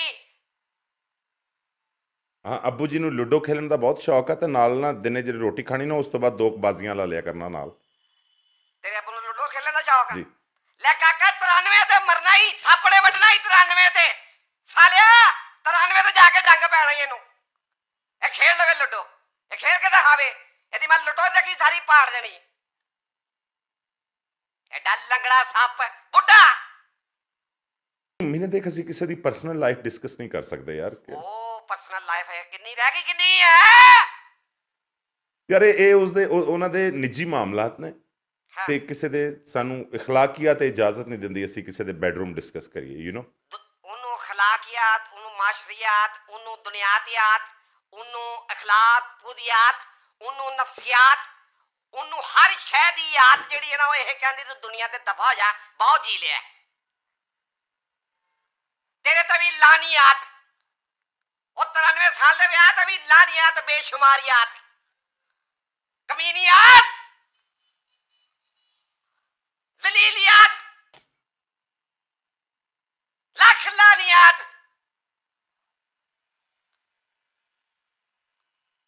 ਉੱਲੂ ਦੇ ਪੱਟੀਆਤ ਟਬਰੀਆਤ, ਸਾਰੇ ਦਾ ਸਾਰਾ ਕੁਲੀਆਤ। ਤੁਹਾਡੇ ਤੇ ਲਾਲਤ ਸਾਰੀ ਹਯਾਤ। चाय ਤੇ ਤਬੀਅਤ ਬਦਲ ਦਿੰਦੀ ਹੈ ਯਾਰ ਚਾय ਨੇ ਤਾਂ ਇੱਕਦਮ ਜ਼ਬਰਦਸਤ ਸਰ ਅਦਰਕ ਵਾਲੀ ਚਾਹ ਦੇ ਕੀ ਫਾਇਦੇ ਨੇ ਯਾਰ ਅਦਰਕ ਵਾਲੀ ਚਾਹ ਜਿਹੜੀ ਹੈ ਉਹਦਾ ਤੇ ਮਾਮਲਾ ਇਹ ਹੈ ਨਾ ਕਿ ਹਾਰਟ ਵਾਸਤੇ ਬਹੁਤ ਅੱਛੀ ਹੈ ਅਦਰਕ ਜਿਹੜਾ ਆ ਜਿਹੜੇ ਹਾਰਟ ਦੇ ਜਿੰਨੇ ਪੇਸ਼ੈਂਟ ਆ ਉਹਨਾਂ ਨੂੰ ਅਦਰਕ ਵਾਲੀ ਚਾय ਪੀਣੀ ਚਾਹੀਦੀ ਹੈ ਹਾਜ਼ਮਾ ਬਹੁਤ ਅੱਛਾ ਰੱਖਦੀ ਹੈ ਵੇਨਸ ਨੂੰ ਜਿਹੜਾ ਉਹ ਜ਼ਰਾ ਫਲੈਕਸੀਬਲ ਰੱਖਦੀ ਹੈ ਕੋਲੇਸਟ੍ਰੋਲ ਘੱਟ ਕਰਦਾ ਹੈ ਅਦਰਕ ਹੋਰ ਬਹੁਤ ਸਾਰੀਆਂ ਚੀਜ਼ਾਂ। ਸਰ ਤੁਸੀਂ ਥੋੜੇ ਦਿਨਾਂ 'ਚ ਬਹੁਤ ਵਜ਼ਨ ਕੰਮ ਕੀਤਾ ਹੈ। ਹਾਂਜੀ। ਔਰ ਅਸੀਂ ਉੱਪਰ ਆਨੇ ਪਲਾਜ਼ੇ ਤੇ ਸਾਨੂੰ ਸਾਹ ਚੜ ਜਾਂਦਾ ਤੁਹਾਨੂੰ ਨਹੀਂ ਚੜਦਾ ਇੱਕ ਛੋਟਾ ਜਿਹਾ ਮੈਂ ਚਾਰਟ ਕਿੰਨਾ ਕੁ ਆਪਣੇ ਦੋਸਤਾਂ ਦੇ ਨਾਲ ਸ਼ੇਅਰ ਕਰੀਏ। ਤੁਹਾਡਾ ਕੀ ਚਾਰਟ ਹੈ ਪਿਛਲੇ ਇੱਕ ਮਹੀਨੇ ਤੋਂ ਨਾ ਰਾਣਾ ਸਾਹਿਬ ਨੇ ਜੀ ਆਪਣਾ ਬਹੁਤ ਜ਼ਿਆਦਾ ਵਜ਼ਨ ਵੀ ਆਪਣਾ ਕੰਮ ਕੀਤਾ ਹੈ ਕਮਰ ਵੀ ਛੋਟੀ ਕੀਤੀ ਹੈ ਤੇ ਇਹ ਯੰਗ ਹੋ ਗਏ ਨੇ ਦੁਬਾਰਾ। ਤੇ ਉਹ ਚਾਰਟ ਮੈਂ ਪੁੱਛਣਾ ਚਾਹਾਂਗਾ ਉਹ ਕੀ ਹੈ ਨਾਲ ਕੀ? ਲਓ ਜੀ ਰਾਏ ਸਾਹਿਬ ਗੱਲ ਇਹ ਆ ਕਿ ਤੁਹਾਡੀ ਗੱਲ ਤੇ ਫੁੱਲ ਪਾਉਣੇ ਨੇ। ਤੇ ਕੱਲ ਨੂੰ ਜਾਂ ਪਰਸੋਂ ਨੂੰ ਆਪਾਂ ਇੱਕ ਸਪੈਸ਼ਲ ਵੀਡੀਓ ਬਣਾ ਕੇ ਤੁਸੀਂ ਇੰਤਜ਼ਾਰ ਕਰਿਓ ਜੀ ਵੀਡੀਓ ਦਾ ਸਪੈਸ਼ਲ ਇੱਕ ਵੀਡੀਓ ਬਣਾ ਕੇ ਸਪੈਸ਼ਲ ਤੁਹਾਡੇ ਨਾਲ ਸ਼ੇਅਰ ਕੀਤਾ ਜਾਏਗਾ ਕਿ ਇਹ ਸਾਰੇ ਮਾਮਲੇ ਕੀ ਨੇ ਇਹ ਕਿਦਾਂ ਰਿਜ਼ਲਟ ਇਹਦਾ ਆਉਂਦਾ ਹੈ। ਬਹੁਤ ਕੁੱਟਣਾ ਉਹਨਾਂ ਨੂੰ ਭਾਜੀ। ਕਿਹੜੇ ਡਰਾਈਵਰ ਨੇ? ਤੂੰ ਹਾਏ। ਤੈਨੂੰ ਕਿੰਨੇ ਕਿਹਾ ਮੈਂ ਕੁੱਟਣਾ? ਭਾਜੀ ਇਹ ਬਹੁਤ ਕੁੱਟਦਾ ਹੈ। ਕੌਣ? ਤੂੰ। ਸ਼ਾਬਾਸ਼। ਮੈਂ ਚਟਣੀ ਬਹੁਤ ਅੱਛੀ ਕੁੱਟਣਾ। ਮੈਂ ਵੈਸੇ ਬੰਦਿਆਂ ਨੂੰ ਬਹੁਤ ਅੱਛਾ ਕੁੱਟਣਾ। ਲੱਤਾਂ ਬਾਹਾਂ ਬਹੁਤ ਅੱਛੀਆਂ ਕੁੱਟਣਾ ਮੈਂ। ਉਂਝ ਨਹੀਂ ਕੁੱਟ ਸਕਦਾ। ਕਿੰਨੀਆਂ ਕੁ ਗੋਲੀਆਂ ਮਾਰ ਲੈਣਗੇ ਦੋ ਬੰਦਿਆਂ ਨੂੰ? ਓਏ ਗੋਲੀਆਂ ਮੁੱਕ ਜਾਣਗੀਆਂ। ਅਸੀਂ ਡਿਗਣ ਨਹੀਂ ਲੱਗੇ। ਉਹ ਭਾਜੀ ਤੁਹਾਡਾ ਨਾ ਕੋਈ ਨੂਰੀ ਨਾਤਾ ਕਿ ਮੈਂ ਮੌਲਾ ਜੱਟ। ਆ ਅਸੀਂ ਕੀ ਲੈਣ ਜਾਣਾ ਉੱਥੇ? ਖੁਦਾ ਓਏ ਮੇਰੀ ਨਹੀਂ ਜੇ ਰਹਿੰਦੀ। ਉਹ ਭਾਜੀ ਰਹਿ ਜਾਂਦੀ ਆ ਰਹਿੰਦੀ ਆ। ਬਾਬਾ ਜੀ ਦੀ ਉਮੀਦ ਕਦੋਂ ਤੱਕ ਹੈ ਵੈਸੇ? ਬਾਬਾ ਜੀ ਅੱਲਾ ਦੀ ਰਹਿਮਤ ਨਾਲ ਦਵਾਈ ਦਿੱਤੀ ਹੈ। ਹੁਣ ਆਪ ਉੱਠ ਕੇ ਗਏ ਬਾਥਰੂਮ। ਤੇ ਬਾਥਰੂਮ 'ਚ ਡਿੱਗ ਨਾ ਪਏ ਹੁਣ ਜ਼ਰਾ ਪਿੱਛੇ ਤੁਰ ਜਾਓ। ਫਿਟੇ ਮੂੰਹ ਤੁਰ ਫਿਟੇ ਮੂੰਹ ਉਹ ਤੇਰੀ ਅਕਲ ਤੇ ਲਾਹਨਤ ਭੇਜਦਾ ਮੈਂ। ਤੁਸੀਂ ਮੈਨੂੰ ਸਿਆਣੇ ਬੰਦੇ ਲੱਗਦੇ ਆ ਮੇਰੇ ਕਾਰੋਬਾਰ ਵਾਸਤੇ ਕਾਰੋਬਾਰ ਵਾਸਤੇ ਦੁਆ ਕਰੋ ਜ਼ਿਆਦਾ ਅੱਛੇ ਤਰੀਕੇ ਨਾਲ ਚੱਲੇ। ਬੱਲੇ ਬੱਲੇ ਬੱਲੇ ਬੱਲੇ। ਆ ਤੇਰੀਆਂ ਕਰਤੂਤਾਂ ਤੋਂ ਬਦਦੁਆ ਦੇਣ ਨੂੰ ਵੀ ਦਿਲ ਨਹੀਂ ਕਰਦਾ। ਵੈਸੇ ਬਾਬਾ ਜੀ ਦਾ ਕੀ ਹਾਲ ਹੈ ਜੀ? ਬਾਬਾ ਜੀ ਅੱਲਾ ਦੀ ਰਹਿਮਤ ਨਾਲ ਹੋ ਜਾਣਗੇ ਠੀਕ। ਦੁਆਵਾਂ ਕਰਦੇ ਆ ਅਸੀਂ ਮਹੱਲੇ ਕੋਈ ਦੁਆ ਕਰਾ ਰਹੇ ਆ। ਲੇਕਿਨ ਰਿਪੋਰਟਾਂ ਬਹੁਤ ਗਲਤ ਨੇ ਉਹਨਾਂ ਉਹ ਦੀਆਂ। ਪੜ ਕੇ ਆਓ ਮੇਰੇ ਕੋਲ ਕੁਝ ਹੋਰ ਨਾ ਕੁਝ ਕਰ ਲਈਏ। ਓਏ ਬੰਦੇ ਦਾ ਪੁੱਤ ਬਣ ਜਾ। ਏਡਾ ਤੂੰ ਮੇਰੇ ਵੈਸੇ ਮੈਨੂੰ ਮੈਨੂੰ ਲੱਗਦਾ ਨਹੀਂ ਕਿ ਕੱਲ ਦਾ ਦਿਨ ਚੜੂਗਾ। ਓਏ ਕੱਲ ਨੂੰ ਕੀ ਹੋਇਆ? ਮਤਲਬ ਮੈਨੂੰ ਲੱਗ ਪੈਣੀ ਆ। ਕੱਲ ਨੂੰ ਦਿਨ ਨਹੀਂ ਚੜਨਾ ਇਹ ਨਾ ਦੁਆ ਕਰੋ ਬਾਰਿਸ਼ ਦੀ ਦੁਆ ਨਾ ਕਰੋ ਪ੍ਰਾਹੁਣਿਆਂ ਨੇ ਭੇਜਣਾ ਤੇ ਨਾਲ ਬਾਬੇ ਨੇ ਵੀ ਭੇਜਦੇ ਨੇ ਜਾਣਾ। ਉਹ ਮੇਰਾ ਬਾਬਾ ਤੁਹਾਡੀ ਦਾਦੀ ਦਾ ਕਲਾਸ ਫੈਲੋ ਆ। ਯਾਨੀ ਕਿ ਇਹ ਰਾਣੇ ਤੂੰ ਇਹ ਦਿਨ ਬਣਾਇਆ ਵੀ ਇਧਰੋਂ ਮੈਂ ਤੇਰੀ ਕੋਈ ਗੱਲਬਾਤ ਚਲਾਵਾਂ ਵਿਆਹ ਦੀ? ਹਾਂ। ਤੇ ਤੂੰ ਅਗਲੇ ਦਿਨ ਕੁੜੀ ਨੂੰ ਫੋਨ ਕਰਕੇ ਭਲਾ ਕੀ ਕਵੇਂ? ਕੀ? ਹਲੇ ਤੇਰੀ ਸਿਰਫ ਗੱਲ ਹੋਈ ਹੋਵੇ ਵੀ ਇੱਧਰ ਰਿਸ਼ਤਾ ਕਰੀਏ ਜਾਂ ਨਾ ਕਰੀਏ ਬਾਅਦ ਦੀ ਗੱਲ। ਅੱਛਾ। ਤੇ ਤੂੰ ਉਹਨੂੰ ਫੋਨ ਕਰਕੇ ਇਹ ਕਵੇਂ ਕਿ ਆ ਵੇਖ ਲੈ ਵੱਡਾ ਮੁੰਡਾ ਬਾਹਰ ਫਿਰਨ ਲੱਗ ਪਿਆ ਤੂੰ ਉਹਨੇ ਰੋਕਦੀ ਨਹੀਂ ਹੈਗੀ। ਓਏ! ਕਿਉਂਕਿ ਤੈਨੂੰ ਅਗਾਹੀ ਬੜੀ ਹੋ ਜਾਂਦੀ ਨਾ ਸਾਲਿਆ! ਜਿਹੜਾ ਕੰਮ ਹਲੇ ਹੋਇਆ ਨਹੀਂ ਹੁੰਦਾ ਤੈਨੂੰ ਉਹਦੀ ਫੁੜਕੀ ਪੈ ਜਾਂਦੀ ਹੈ। ਉਹ ਤੋਂ ਮਨਾ ਕਰਨ ਲੱਪੇ ਨਾ ਲੋਕਾਂ ਨੂੰ। ਵੀ ਤੇਰੀ ਹਲੇ ਕੱਲੀ ਮੰਗਣੀ ਹੋਈ ਹੋਵੇ ਤੇ ਤੂੰ ਪਹਿਲੇ ਸਹੁਰਿਆਂ ਨੂੰ ਫੋਨ ਕਰਕੇ ਕਹਿ ਦੇਵੇਂ ਭਈ ਆ ਫ੍ਰਿਜ ਨੂੰ ਚਿਪ ਪਾ ਕੇ ਘੱਲਿਆ ਹੂੰ? ਔਰ ਮੈਂ ਕਰਾਵਾ ਰਿਸ਼ਤਾ ਯਾਨੀ ਕਿ ਸਾਰੀ ਜ਼ਿੰਦਗੀ ਦੀ ਜ਼ਲਾਲਤ ਲੈ ਲਵਾਂ ਮੈਂ। ਓਏ ਓਏ ਡੱਡੂ ਓਏ ਫਿਲਮ ਹੈ। ਓਏ ਚੱਕਰਮਤੀ ਓਏ ਲਤੀਫੇ। ਓਏ ਚਬਲੇ ਆਜ਼ਮ। ਮਹੀਨੇ ਮੇਰੀ ਨਿਕਲੀ ਹੈ 3500 ਰੁਪਏ ਦੀ ਕਮੇਟੀ ਤੇ ਮੈਂ ਚਾਹੁੰਦਾ ਆ ਕਿ ਮੈਂ ਹੁਣ ਸ਼ਾਦੀ ਤੇ ਸਾਰੇ ਪੈਸੇ ਖਰਚ ਦਵਾਂ। ਮੈਨੂੰ ਤਾਂ- ਮੈਂ ਮੈਂ 3500 ਚ ਮੈਂ- ਮੈਨੂੰ ਦੱਸ ਮੈਨੂੰ ਕਿੱਦਾਂ ਦੀ ਕੁੜੀ ਨਾਲ ਵਿਆਹ ਕਰਾਵਾਂ? ਵੀ ਮੈਂ ਪਹਿਲੇ ਮੈਨੂੰ ਇੱਧਰਲੇ ਪਾਸੇ ਆ! ਓਏ 3500 ਯਾਰ ਰਾਣੇ! ਮਹੀਨੇ ਲੜਕੀ ਅਲੜ ਜਿਹੜੀ ਮੁਟਿਆਰ ਆ ਨਾ ਉਹ ਵਾਹ। ਐਦਾਂ ਦੀ ਹੋਣੀ ਚਾਹੀਦੀ ਹੈ ਕਿ ਤੁਰੀ ਜਾਂਦੀ ਹੋਵੇ ਤਾਂ ਗੁੱਤ ਚੁੰਮੇ ਗਿੱਟਿਆਂ ਨੂੰ 3500 ਚ ਤੇ ਜਿਉਂਦੇ ਵਸਦੇ ਰਹੋ। ਬਹੁਤ ਬਹੁਤ ਸ਼ੁਕਰੀਆ। ਅੱਲਾ ਤੁਹਾਡੇ ਤੇ ਆਪਣੀਆਂ ਰਹਿਮਤਾਂ ਕਰਨ। ਜਾਂਦੇ ਜਾਂਦੇ ਇੱਕ ਵਾਰੀ ਫਿਰ ਤੁਹਾਡਾ ਬਹੁਤ ਬਹੁਤ ਸ਼ੁਕਰੀਆ। ਮੇਰੇ ਨਾਲ ਕੰਮ ਕਰਨ ਵਾਲੇ ਦੋਸਤਾਂ ਦਾ ਬਹੁਤ ਬਹੁਤ ਸ਼ੁਕਰੀਆ। ਉਸ ਤੋਂ ਬਾਅਦ ਮੈਂ ਸ਼ਿਰਾਜ਼ ਦਾ ਨਾਂ ਨਹੀਂ ਲਿਆ। ਹਾਂਜੀ। ਸ਼ਿਰਾਜ਼ ਸਾਹਿਬ ਸਾਡੇ ਆਫਿਸ 'ਚ ਸਾਡੀ ਸਾਰੀ ਮੁਆਵਨਤ ਕਰਦੇ ਆ। ਟੈਕਨੀਕਲੀ ਜਿੰਨਾ ਮਾਮਲਾ ਆ ਉਹਦੇ 'ਚ। ਸ਼ਿਰਾਜ਼ ਸਾਹਿਬ ਦਾ ਬਹੁਤ ਬਹੁਤ ਸ਼ੁਕਰੀਆ। ਤੇ ਇੱਕ ਵਾਰੀ ਫਿਰ ਚੌਧਰੀ ਤਨਵੀਰ ਸਾਹਿਬ ਦਾ ਬਹੁਤ ਬਹੁਤ ਸ਼ੁਕਰੀਆ ਤੇ ਸ਼ਕੀਲ ਰਾਜਾ ਸਾਹਿਬ ਦਾ ਬਹੁਤ ਬਹੁਤ ਸ਼ੁਕਰੀਆ।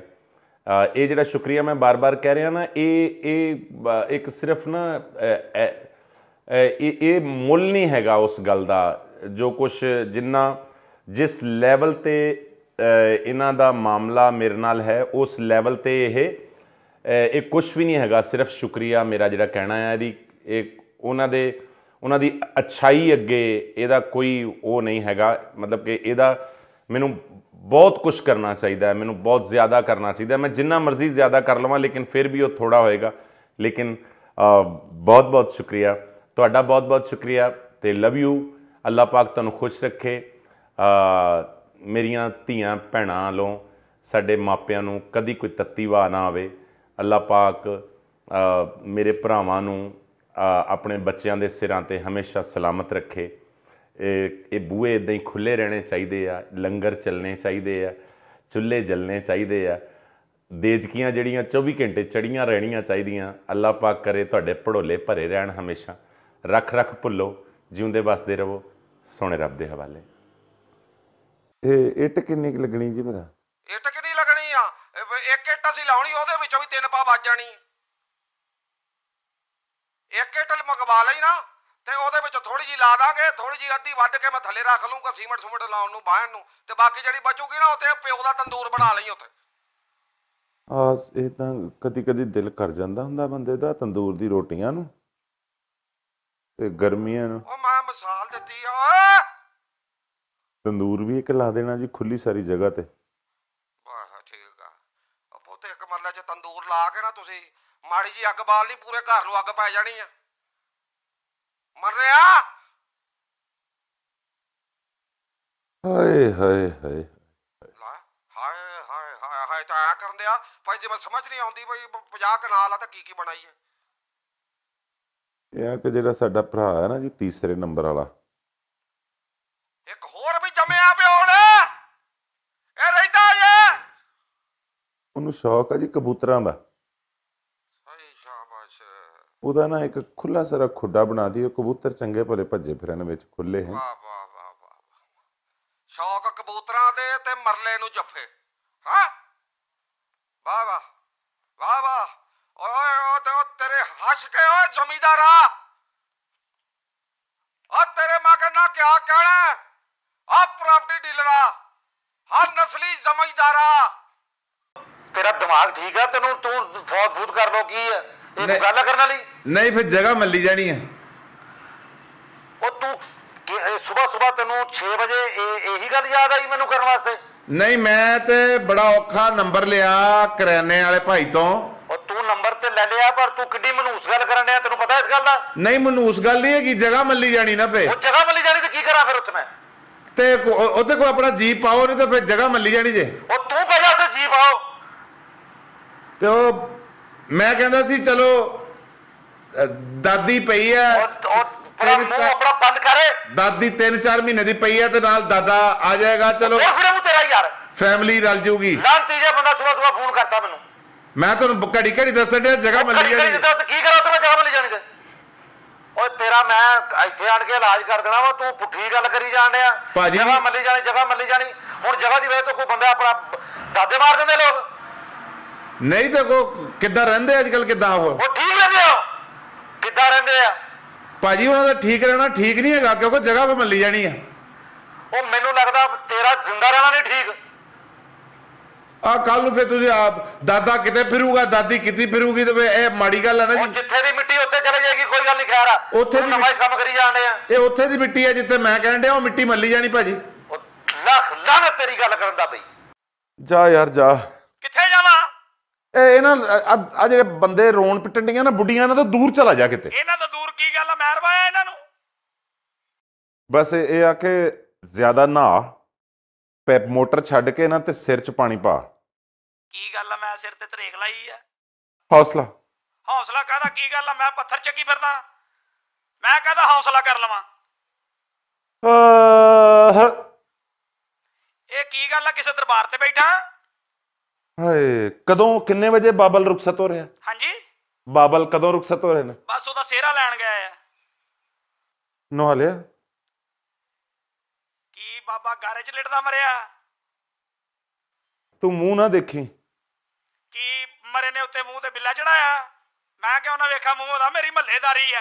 ਹਾਂ, ਇਹ ਨਾ ਹੋਵੇ ਕਿ ਬਾਅਦ 'ਚ ਮੈਨੂੰ ਪਤਾ ਲੱਗੇ ਤੂੰ 10-15 ਦਿਨ ਜਾ ਕੇ ਕਬਰ ਤੇ ਹੀ ਬੈਠਾ ਰਿਹਾ ਰੋਂਦਾ ਰਿਹਾ। ਯਾਰ ਤੂੰ ਕੈਸਾ ਬੰਦਾ ਕਿ ਮੈਂ ਕਬਰ ਤੇ ਰਾਸ਼ਨ ਲਵਾਇਆ ਕਿ ਮੈਂ 10-15 ਦਿਨ ਉਹਦਾ ਧਿਆਨ ਰੱਖਣਾ? ਮੈਂ ਉੱਥੇ 10-15 ਦਿਨ ਬੈਠਾ ਰਵਾਂ ਜਿਵੇਂ ਬਾਬਾ ਮੇਰੀ ਮੰਜੀ ਤੇ ਗਿਆ ਹੈ। ਯਾਨੀ ਕਿ ਤੁਹਾਡੀ ਟੋਟਲ ਗੱਲ ਇਹ ਹੈ ਕਿ ਮੈਂ ਪੁੱਲ ਨੂੰ ਠੀਕ ਕਰਨਾ ਵਾ। ਮੈਂ ਮੈਂ ਪਾਗਲ ਆ ਬਈ ਭੌਂਕੀ ਜਾਂਦਾ ਤੈਨੂੰ ਟੈਕਨੀਕਲ ਤਰੀਕੇ ਨਾਲ ਦੱਸਣ ਆ ਵੀ ਤੇਰਾ ਪੁੱਲ ਖਰਾਬ ਆ। ਬੜਾ ਟੈਕਨੀਕਲ ਬਾਬਾ ਜੀ ਤੁਸੀਂ ਮਾਸ਼ਾਅੱਲਾ ਮੇਰੀ ਮੁਸ਼ਕਲ ਹੀ ਹੱਲ ਕਰ ਦਿੱਤੀ ਹੈ ਚਬਲਾ ਹੋਵੇ। ਅਬੇ ਪਹਿਲੇ ਮੈਨੂੰ ਇੱਕ ਗੱਲ ਦੱਸ ਨਾ। ਹਾਂਜੀ। ਇਹ ਜਦੋਂ ਇਹ- ਦੇਖ ਤੇਰਾ ਪੁੱਲ ਹੈਗਾ ਇੱਕ ਪਾਸੋਂ ਵਿੰਗਾ। ਹਾਂਜੀ।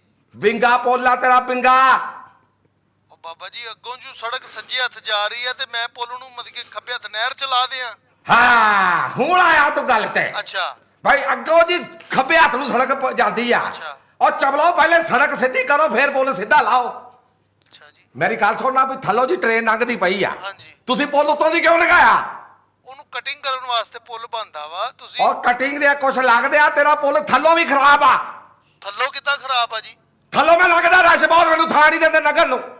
ਤੇ ਤੇਰਾ ਪੁੱਲ ਖਰਾਬ ਆ ਇਹਨੂੰ ਸਹੀ ਕਰ। ਓਏ ਗੱਲ ਬਕਾ ਤੂੰ ਸਵੇਰੇ 9 ਵਜੇ ਆ ਜਾ ਪੁੱਲ ਤੇ। ਠੀਕ ਹੈ ਬਾਬਾ ਮੈਂ ਤੇਰੇ ਚਾਰ ਫਾਲਟ ਕੱਢ ਕੇ ਤੈਨੂੰ ਫੜਾ ਦਿਆਂ ਫਿਰ ਮੰਨੇ? ਕਿਹੜੇ ਫਾਲਟ ਆ ਜੀ? ਮੈਨੂੰ ਵੀ ਦੱਸ ਦਿਓ ਚਾਰ ਫਾਲਟ। ਲੈ ਚਾਰ ਫਾਲਟ ਸੁਣ ਲਾ ਜੇ ਜੇ ਚਾਰ ਫਾਲਟ ਗਣਾ ਦਿਆਂ ਮੰਨ ਜਾਵੇਂ ਫਿਰ? ਮੈਂ ਸਵੇਰ ਹੀ ਪੁੱਲ ਢਵਾ ਕੇ ਨਵਾਂ ਤੁਹਾਡੀ ਮਰਜ਼ੀ ਦਾ ਬਣਾ ਦਿਆਂਗਾ। ਤੁਸੀਂ ਮੈਨੂੰ ਫਾਲਟ ਗਣਾਓ ਚਾਰ। ਲੱਗਾ ਤੂੰ ਗਵਾ ਰਹੀ ਹੁਣ ਵਿੱਚ ਮੈਨੂੰ ਗਵਾਹ- ਫਾਲਟ ਕਰਾਉਣ ਲੱਗਾ। ਗਵਾਹ ਜੀ। ਨੰਬਰ 1 ਪੁੱਲ ਪਹਿਲਾ ਫਾਲਟ ਇਹ ਆ ਬਈ ਤੇਰਾ ਪੁੱਲ ਖਰਾਬ ਆ। ਅੱਛਾ। ਹਾਂ? ਨੰਬਰ 2 ਆ ਕਿ ਤੇਰਾ ਫਾਲਟ ਆ। ਨੰਬਰ 3 ਇਹ ਆ ਫਾਲਟ ਤੇਰੇ ਪੁੱਲ ਦਾ ਕਿ ਤੇਰਾ ਪੁੱਲ ਸਹੀ ਨਹੀਂ ਬਣਿਆ। ਅੱਛਾ। ਤੇ ਨੰਬਰ 4 ਫਾਲਟ ਤੇਰਾ ਇਹ ਆ ਭਈ ਕਿ ਇਹਦੇ ਪੁੱਲ ਨੂੰ ਸਹੀ ਕਰ। ਬਸ ਗੱਲ ਖਤਮ ਹੋ ਗਈ ਇਹ ਚਾਰ ਗੱਲਾਂ। ਮੈਂ ਸਵੇਰੇ ਤੇਰੇ ਪੁੱਲ ਤੋਂ ਲੱਗਣਾ ਜੇ ਮੇਰੀ ਮੋਟਰਸਾਈਕਲ ਇੱਕੋ ਵਾਰੀ ਨਾ ਨਾ ਟੱਪੀ ਤੇਰਾ ਪੁੱਲ ਮੈਂ ਤੇ ਗਰਕ ਕਰ ਦੇਣਾ ਬੰਬ ਮਾਰ ਕੇ।